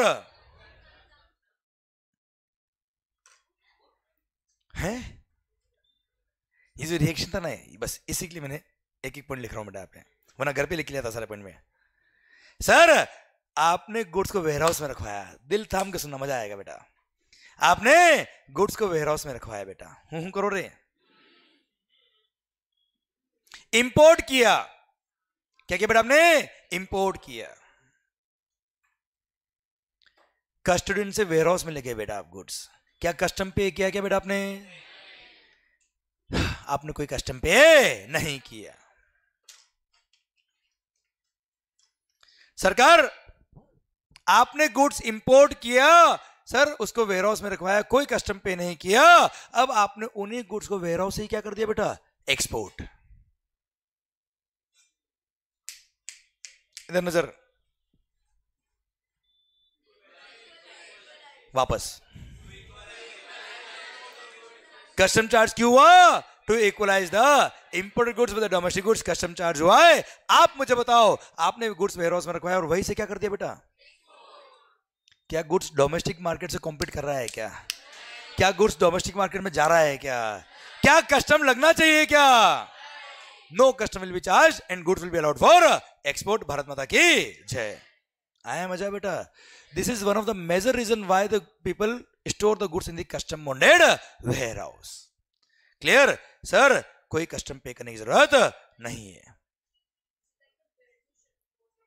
नो नो नो आपने गुड्स वेयरहाउस में रखवाया बेटा। वेयर हाउस में रखवाया। फिर आपका एक्सपोर्ट का ऑर्डर आ गया। आपने उसके लिए एक्सपोर्ट डॉक्यूमेंट फ़ाइल किए। वहाँ से कस्टम क्लियरेंस करा के डायरेक्ट क्या कर दिया? एक्सपोर्ट कर दिया। गुड्स को डोमेस्टिक मार्केट में लेके ही नहीं आया बेटा। क्लियर एक तरह से चाइना से खरीदा और जापान बेच दिया बेटा। Without bringing goods in domestic market बच्चा। Clear there is no point of custom at all बेटा। बोलो यस सर सर आप मुझे बताओ। आपने गुड्स को वहीं से एक्सपोर्ट कर दिया। क्या डोमेस्टिक मार्केट से कॉम्पीट हुआ है क्या बेटा? कस्टम चार्ज क्यों हुआ? तो पता है, यहाँ आंसर आपने मुझे अपने आप दिया है बेटा। यही अगर आपके माइंड में होता क्या इंपोर्ट पे कस्टम क्यों लिखा टू डिमोटिवेट द इंपोर्ट बेटा। तो ये पॉइंट जब मैं पढ़ा था आपको तो मैं आपको बताता कि यहाँ पे कस्टम नहीं लगता और आप उसको याद करते, बेटा। दिल की गहराई से आंसर अपना आप नहीं आता, बेटा। क्लियर सर ऐसे केस में लोग यही पे कस्टम पे करते थे, बेटा। अगर उनको लगता है कि इंपोर्ट को डीमोटिवेट करने के लिए कस्टम लगाया था, बेटा। क्लियर उनको ये नहीं पता था कि कस्टम चार्ज क्यों हुआ इसलिए कह रहा हूँ फंडामेंटल बहुत स्ट्रॉन्ग है सर, और ये अभी से नहीं, सर, लगभग तेरह चौदह साल से पढ़ा रहा हूँ बेटा मैं। सेम फंडामेंटल कोई चेंज नहीं सेम सिस्टम सेम फिगर्स ये आठ सौ हज़ार जो है ना बेटा ये लिखा है सेम कई सालों से। ये दस का ग्रेड क्यों मिला? ये कोई मैं जीएसटी आने के बाद से नहीं पढ़ रहा हूँ। Service tax excise same fundamental clear इसलिए फंडामेंटल सीखो आप सर, मज़ा आएगा आपको सर। क्यों? इससे कॉन्सेप्ट अपने इतने क्लियर होंगे कि आंसर्स अपने आप आएँगे। क्लियर आप ये मान के चलना कि सर, अगर आपके कॉन्सेप्ट क्लियर है तो कभी एग्ज़ाम में कोई घुमा फिरा के नया क्वेश्चन पूछना बेटा, अपने आप आंसर आएगा बेटा आपको। सर आइए। नाउ अब अब अब अब अब removal of goods from warehouse for बोलो ना। नहीं नहीं नहीं नहीं अनादर वेयर हाउस बेटा। मतलब Mumbai custom bonded warehouse निकाल के आप Chennai custom bonded warehouse में ले जा रहे हो बेटा। अनादर वेयर हाउस मतलब घर वाला वेयर हाउस नहीं बेटा। Again custom bonded warehouse ही बेचा। क्या कस्टम पे करना है क्या? क्यों नहीं? क्योंकि आपको पता है कस्टम चार्ज क्यों हुआ बेटा? क्लियर आइए बच्चों। अब removal of goods from warehouse for अब तो बोलो होम कंजम्पशन अब आपको गुड्स रिमूव करना है फॉर होम कंजम्पशन बच्चों। हाँ है ना भाई? यस बच्चों, अब केवल दो या तीन मिनट के लिए पूरा ध्यान इधर मतलब हंड्रेड परसेंट इधर बेटा। न कुछ लिखना है, न कुछ ध्यान इधर, ध्यान मेरी तरफ़ बेटा। आपको मेरे से बात करनी है, अमन भाई बेटा। सर, मान लो सुनना बच्चों, ध्यान से, मज़ा आएगा आपको, सर। अच्छा दो अप्रोच हो सकती है बच्चा। एक तो जो मेरे को आता है, मैं आपको बता दू बेटा। एक, मैं आपको ऐसी डायरेक्शन में, सर, लेके जाऊँ, जहाँ पे आप खुद सोचकर खुद आंसर देते बेटा आप। तो आप मुझे बताओ, अगर मैंने बताया, अगर आपने याद किया होगा तो जीवन भर याद करना पड़ेगा बेटा आपको। और आपने सोच के बोला होगा, सर, ये होना चाहिए। और वही लिखा होगा तो क्या उसको कभी याद करना पड़ेगा बेटा आपको? बस, मेरा अप्रोच वो है बेटा। मेरे को दस मिनट एक्स्ट्रा लग जाएँगे, पर आपको कभी भी रिविजन टाइम एक्स्ट्रा नहीं लगेगा, सर। क्लियर ध्यान देना बच्चों आप। मान लो, बहुत अच्छा बेटा। यार, मैंने कोई गुड्स इंपोर्ट किया था। उसको कस्टम बोनेड वेयरहाउस में रखवाया था। गुड्स अभी का है बेटा? अब उस गुड्स का मैं क्लियर कर रहा हूँ फॉर होम कंजम्पशन पहला क्वेश्चन मेरा आपसे यह है कि कस्टम अब लगेगा कि नहीं लगेगा बेटा? बिल्कुल लगेगा सब। जल्दी मत करना सर आप। ठीक है? दो बातें हैं, बड़ी सुंदर है बेटा। मान लो जब आपने originally bill of entry file करी थी ये वाली बेटा। कौन सी? देखो यहाँ पे थोड़ा स्पेस दिया था बेटा। क्यों? क्योंकि इस बिल ऑफ़ एंट्री को बोलते हैं क्या? Into bond bill of entry for warehousing क्योंकि इस bill of entry for warehousing की वजह से आप बॉन्ड में आए थे। इसलिए इसको क्या बोलते हैं बेटा? Into bond bill of entry for warehousing okay sir अब एक मिनट जब आपने ओरिजिनली गुड्स को इंपोर्ट किया था, हूँ तो कर लो कम से कम।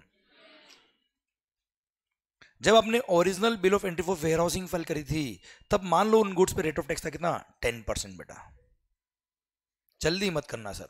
मेरे को आंसर नहीं चाहिए आपसे बेटा। जल्दी मत करना बच्चों, बस। जब आपने इंपोर्ट किया था बिल ऑफ़ एंट्री फ़ाइल करी थी, तब कस्टम की रेट कितनी थी बेटा? टेन परसेंट और जब आप रिमूव करने आओगे फॉर होम कंजम्पशन तो सबसे पहली बात आपको क्या करना पड़ेगा बेटा? नहीं, पहले आपको डॉक्यूमेंट फ़ाइल करने पड़ेंगे बेटा। आपको डिपार्टमेंट को बोलना तो पड़ेगा ना, मेरे को कस्टम क्लियरेंस कराना पड़ेगा इन गुड्स का। क्योंकि गुड्स क्या है बेटा अभी वेयर हाउस में। कस्टम ऑफिसर क्या है कस्टम पोर्ट पे बेटा। हाँ ना भाई? तो आपको क्या करना पड़ेगा करना पड़ेगा? Filing of ex bond bill of entry for home consumption file करना पड़ेगा बेटा। क्लियर ये फ़ाइल करोगे आप बच्चों। हाँ ना भाई? आपने अपनी इंटेंट दिखाई कि मेरे को गुड्स को क्लियर करना है फॉर होम कंजम्पशन बच्चों।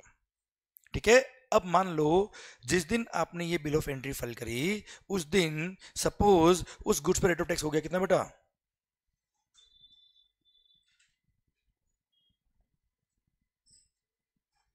फाइव परसेंट या फिफ्टीन परसेंट। पहले कितना था बेटा? टेन।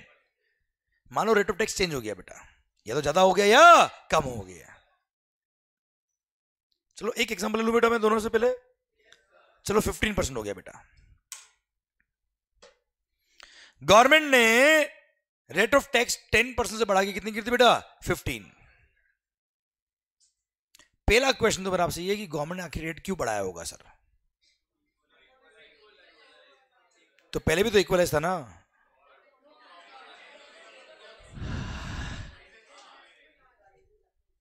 मतलब गवर्नमेंट ने पहले रेट था टेन परसेंट, अब कितना हो गया बेटा? फिफ्टीन। क्यों किया होगा सर हो सकता है डोमेस्टिक मार्केट में महँगाई बढ़ गई बेटा। पहले गुड्स थाउज़ेंड का बन रहा था डोमेस्टिक मार्केट में। इंपोर्टेड टू एट हंड्रेड का था बेटा। हमने टू हंड्रेड कस्टम लगाया था बेटा। वही गुड्स अब इंडिया में अब कितना का हो गया? इलेवन हंड्रेड का बेटा। पर इंपोर्ट अभी भी कितने में हो रहा बेटा? एट हंड्रेड में बेटा। कितना कस्टम लगाएँगे बेटा? थ्री हंड्रेड ना बेटा यार? क्लियर इसलिए गवर्नमेंट रेट बढ़ाया होगा बच्चों। क्लियर आप मुझे बताओ।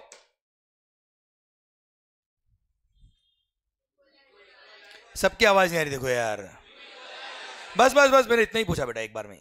तो टू इक्वलाइज बेटा शॉर्टकट मतलब to equalise clear sir custom charge क्यों हुआ बेटा? टू इक्वलाइज अच्छा किस दिन इक्वलाइज बच्चा?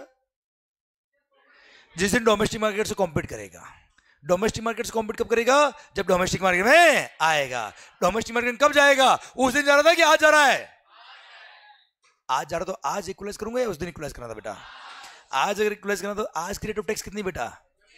तो 15 लगाऊँगा या 10 लगाऊँगा बेटा? अगर 10 लगा तो क्या इक्वलाइज हो पाएगा? इसलिए कितना लगेगा?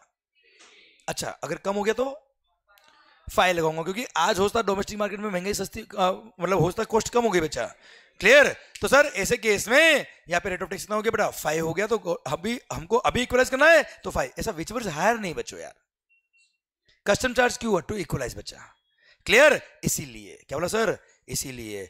जब आप ex bond bill of entry for home consumption file करोगे, तब क्या होगा बेटा? दिल थाम के देखना बेटा।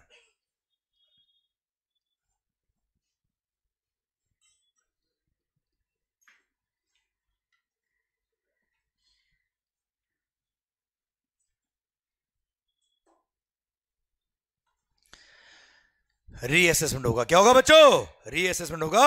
और जो नई रेट ऑफ़ टैक्स है कितनी? फाइव या फिफ्टीन उस रेट से टैक्स लगेगा बच्चों। हाँ है ना बेटा? अरे, क्लियर? पक्का? अच्छा एक बात और बेटा। मान लो, सुनना बात को अच्छे से। सुनोगे बेटा? सुनना बात को ध्यान से। ध्यान से सुनना बेटा। लास्ट बात है, फिर खत्म टॉपिक बेटा ये। मान लो, मैंने गुड्स इंपोर्ट किया था वन सीआर में बेटा।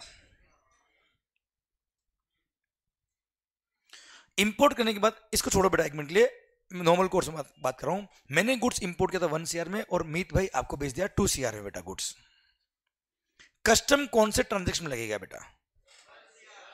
भाई इंपोर्ट वाले ट्रांजेक्शन ट्रांजेक्शन पे कस्टम लगता ना यार?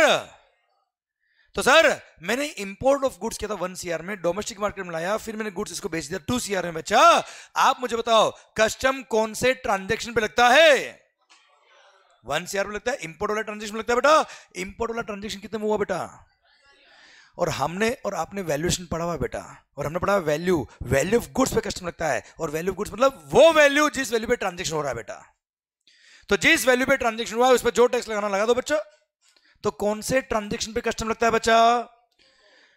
ढंग से आवाज़ आ रही कौन से ट्रांजेक्शन पे कस्टम लगता है बच्चा? इंपोर्ट के ट्रांजेक्शन पे कस्टम लगता है। इंपोर्ट कितने में हुआ है सर तो कस्टम कितने में लगेगा? वन सीआर तो सुनना मेरी बात, ध्यान को। अब यहाँ मैं फिट करता हूँ बेटा। मान लो मैंने कोई गुड्स इंपोर्ट किया था वन सीआर में बेटा।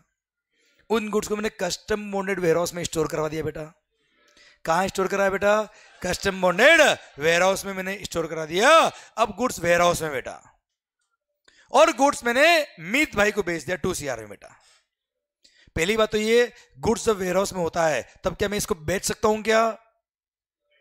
बिल्कुल हाँ बेच सकता हूँ। सर गुड्स का ऑनरशिप डॉक्यूमेंट इसके नाम पे ट्रांसफ़र कर दूँगा बेटा मैं। मैं ज़रूर थोड़े गुड्स फिजिकली इसके हाथ में दूँगा बेटा। अरे, आप कोई फ्लेट खरीदो क्या? फ्लेट खरीद फ्लेट हाथ में ले लेते हो क्या बेटा अपने डॉक्यूमेंट होता ना उसके ऑनरशिप डॉक्यूमेंट बच्चो क्लियर तो सर, ऐसे केस में मैंने आपके नाम पे ऑनरशिप डॉक्यूमेंट ट्रांसफ़र कर दिया, आपको बिल इशू कर दिया टू सी का बेटा। बोलो यस सर चलिए। इम्पोर्ट मैंने किया था। नज़र इधर। इम्पोर्ट मैंने किया था। गुड्स को वेयर हाउस में रखवाया था। गुड्स अभी वेयर हाउस में बेटा। मैंने गुड्स को बेच दिया किसको? मीत भाई को। कितने में? टू सीआर में। गुड्स का है अभी। अब गुड्स का कस्टम क्लियरेंस कराना है फॉर होम कंजम्पशन। कौन आएगा? मंगल आएगा या मीत आएँगे? मीत भाई आएँगे बेटा। क्यों? He is the owner of the goods अब ये कस्टम क्लियरेंस कराएँगे तो कस्टम ये पे करेंगे बेटा। किस वैल्यू पे कस्टम लगेगा? वन सीआर या टू सीआर वन सीआर नहीं, इसने तो टू सीआर में खरीदा ना यार। देख, कस्टम लगता कौन से ट्रांजेक्शन पे है? इंपोर्ट का ट्रांजेक्शन कितने में हुआ बेटा? वन सीआर में। तो सर, ये देखो ध्यान से, वो तो आपने इंपोर्ट टाइम में कस्टम इसलिए पे नहीं किया था, क्योंकि गुड्स को आपने वेयर हाउस में रखवाया था बेटा। रेवेन्यू डेफर हुई थी गवर्नमेंट की बेटा। क्लियर इसलिए सर जब गुड्स निकलेगा वेयर हाउस से फॉर होम कंजम्पशन तब रीअसेसमेंट होगा। But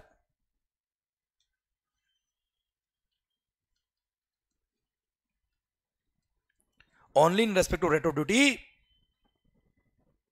not value हाँ ना भाई रीवैल्यूएशन नहीं होगा रेट ऑफ़ ड्यूटी अगर चेंज हुई होगी तो उसके अकॉर्डिंग रीअसेसमेंट हो जाएगा, नई रेट से टैक्स लगेगा भले नई रेट ऑफ़ टैक्स कम हो या ज़्यादा उसे फ़र्क नहीं पड़ता। क्लियर रीअसेसमेंट होगा ड्यूटी का अमाउंट निकलेगा, अब ड्यूटी का अमाउंट निकला तो क्या होगा? बोलो आगे आपको आता है सब। Sir payment of custom duty with interest with penalty if any बेटा। अच्छा सुनो जैसे आप लोगों ने दो तीन बार बोला वेयर हाउसिंग चार्जेस बच्चा मैंने नहीं लिखा जानबूझ के बेटा। क्यों? क्योंकि 2016 में प्राइवेटाइजेशन हो गया इसमें बेटा। मोदी सरकार ने कस्टम बॉन्ड वेयर हाउस क्या कर दिया बेटा? प्राइवेटाइज कर दी है। मतलब यह है कि अब जो प्राइवेट वेयर हाउस ऑपरेटर्स होते बेटा, वो रन करेंगे कस्टम बोनेड वेयर हाउस बेटा। और वो लोग वेयर हाउसिंग रेंट लेंगे बेटा। जिसने वेयर हाउस में गुड्स रखवाया बेटा। अब वो वेयर हाउस रेंट ले या ना ले कस्टम वालों को मतलब है क्या बेटा उससे? नहीं। कस्टम वाले तो अपना कस्टम क्लियरेंस का ऑर्डर पास कर देंगे, भले उसने, आपने वेयर हाउसिंग रेंट लिया या नहीं लिया। अच्छा अब गुड्स तो आपके पास है ना बेटा वैसे भी? वो रेंट नहीं देंगे तो गुड्स में देना बेटा आप लोग। पर वो आपका लुकआउट है। कस्टम वालों का लुकआउट नहीं है। पहले 2016 से पहले यहाँ पे वेयर हाउसिंग रेंट भी लिखा था जिसको काटा बेटा। कट किया बेटा। इंटेंशली बेचा। क्लियर ठीक सर क्योंकि प्राइवेटाइजेशन हो गया बेटा। वेरी गुड आइए। सर अब आपने कस्टमरी पे कर दिया विथ इंटरेस्ट विथ पेनल्टी अगर था तो वो पे कर दिया बेटा। अब क्या होगा बेटा? गुड्स कहा है? असेसमेंट वाले ऑफिसर तो कोई और है ना यार। वेयर हाउस वाले को क्या पता पड़ेगा कि आपने कस्टम पे किया कि नहीं है बेटा? इसलिए ऑर्डर पास होगा। कौन सा order out of customs charge order बेटा। हाँ है ना भाई? कौन पास करेगा? प्रॉपर ऑफिसर पास करेगा। फिर आप वेयर हाउस ऑपरेटर के पास जाओगे, उसको ऑर्डर दिखाओगे, फिर वो गुड्स रिमूवल अलाउ करेगा बेटा। बोलो यस सर क्लियर सर और अगर मान लो ये आपके सारे गुड्स थे बेटा, इसके अलावा और कोई गुड्स आपके नहीं थे तो जो बॉन्ड आपने बड़ा, याद है फ़ाइल किया था बेटा बॉन्ड उसको भी कैंसिल कर देना बेटा पर हाँ मान लो वेयर हाउस में रखवाते बहुत सारे गुड्स रिमूव किए कुछ ही गुड्स तो वेयर हाउसिंग बॉन्ड तो रहेगा बेटा आपका। क्लियर वो कुछ गुड्स निकल जाएँगे बेटा आपके। हाँ है ना भाई, मैंने मानना सारे ही गुड्स निकल के बेटा तो cancellation warehousing bond and removal of imported goods for home consumption from warehouse इसी के साथ भारत माता की जय। सिस्टम समझ में आया कि नहीं आया? पूरा टॉपिक समझ में आया कि नहीं आया? और इसी के साथ भारत माता की जय। एक लास्ट बात और पूछ लू क्या बेटा आपसे यार? आवाज़ आ रही नज़र इधर। नज़र इधर। मान लो, नज़र इधर, मान लो, ढंग से आवाज़ नहीं, मान लो। एक मिनट कस्टम चार्ज क्यों हुआ बेटा?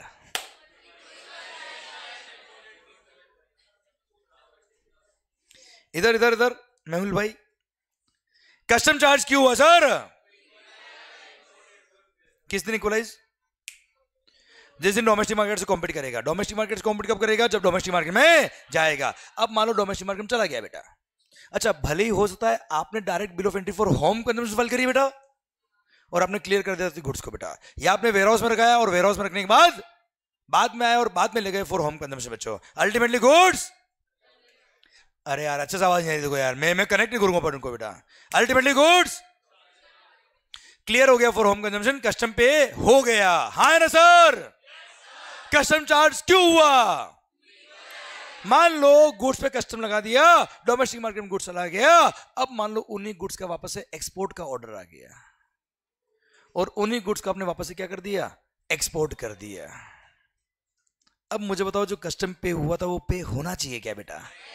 उस कस्टम का क्या मिल जाना चाहिए? Refund that refund is called duty drawback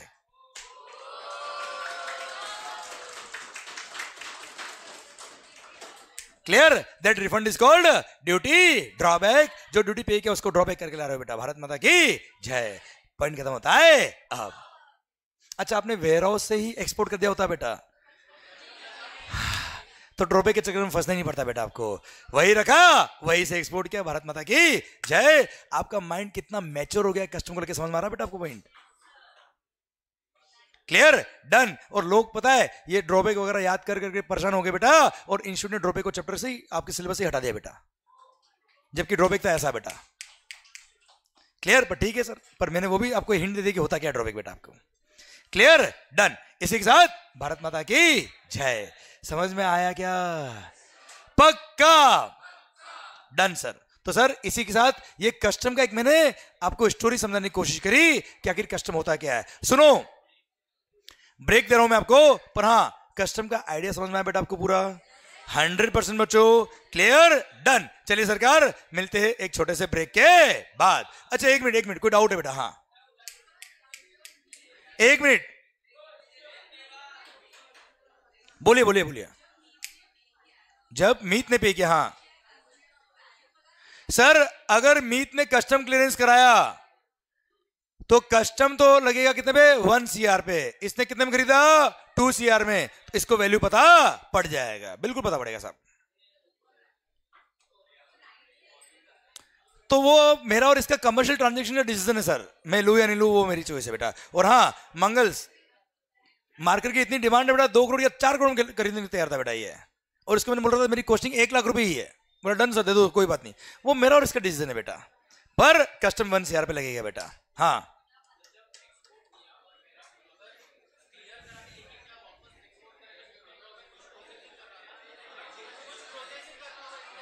कुछ बात करूँगा बाद में बेटा मैं।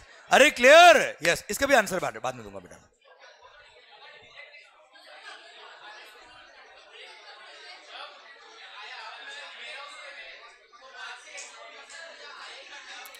ठीक है। सर इनका पॉइंट ये है कि आपको जब चाइना से इंपोर्ट किया, आपने वेयरहाउस में रखवाया और जापान एक्सपोर्ट करना ही था तो आपने इंडिया में लाया ही क्यों बेटा? अरे, वो तो मेरा बिज़नेस डिसीज़न है बेटा। आप डायरेक्ट चाइना से परचेज करिए, जापान में दो में क्या दिक्कत है बेटा। पर हो सकता है ना आपको कुछ स्टोरेज करना पड़ता है। जब आपको जापान से ऑर्डर आएगा, तब हो सकता है चाइना के पास गुड्स नहीं हो बेटा। वो आपका बिज़नेस डिसीज़न है बेटा यार। क्लियर यस सर पक्का? चलिए सरकार, मिलते हैं ब्रेक के बाद। Thank you so much thank you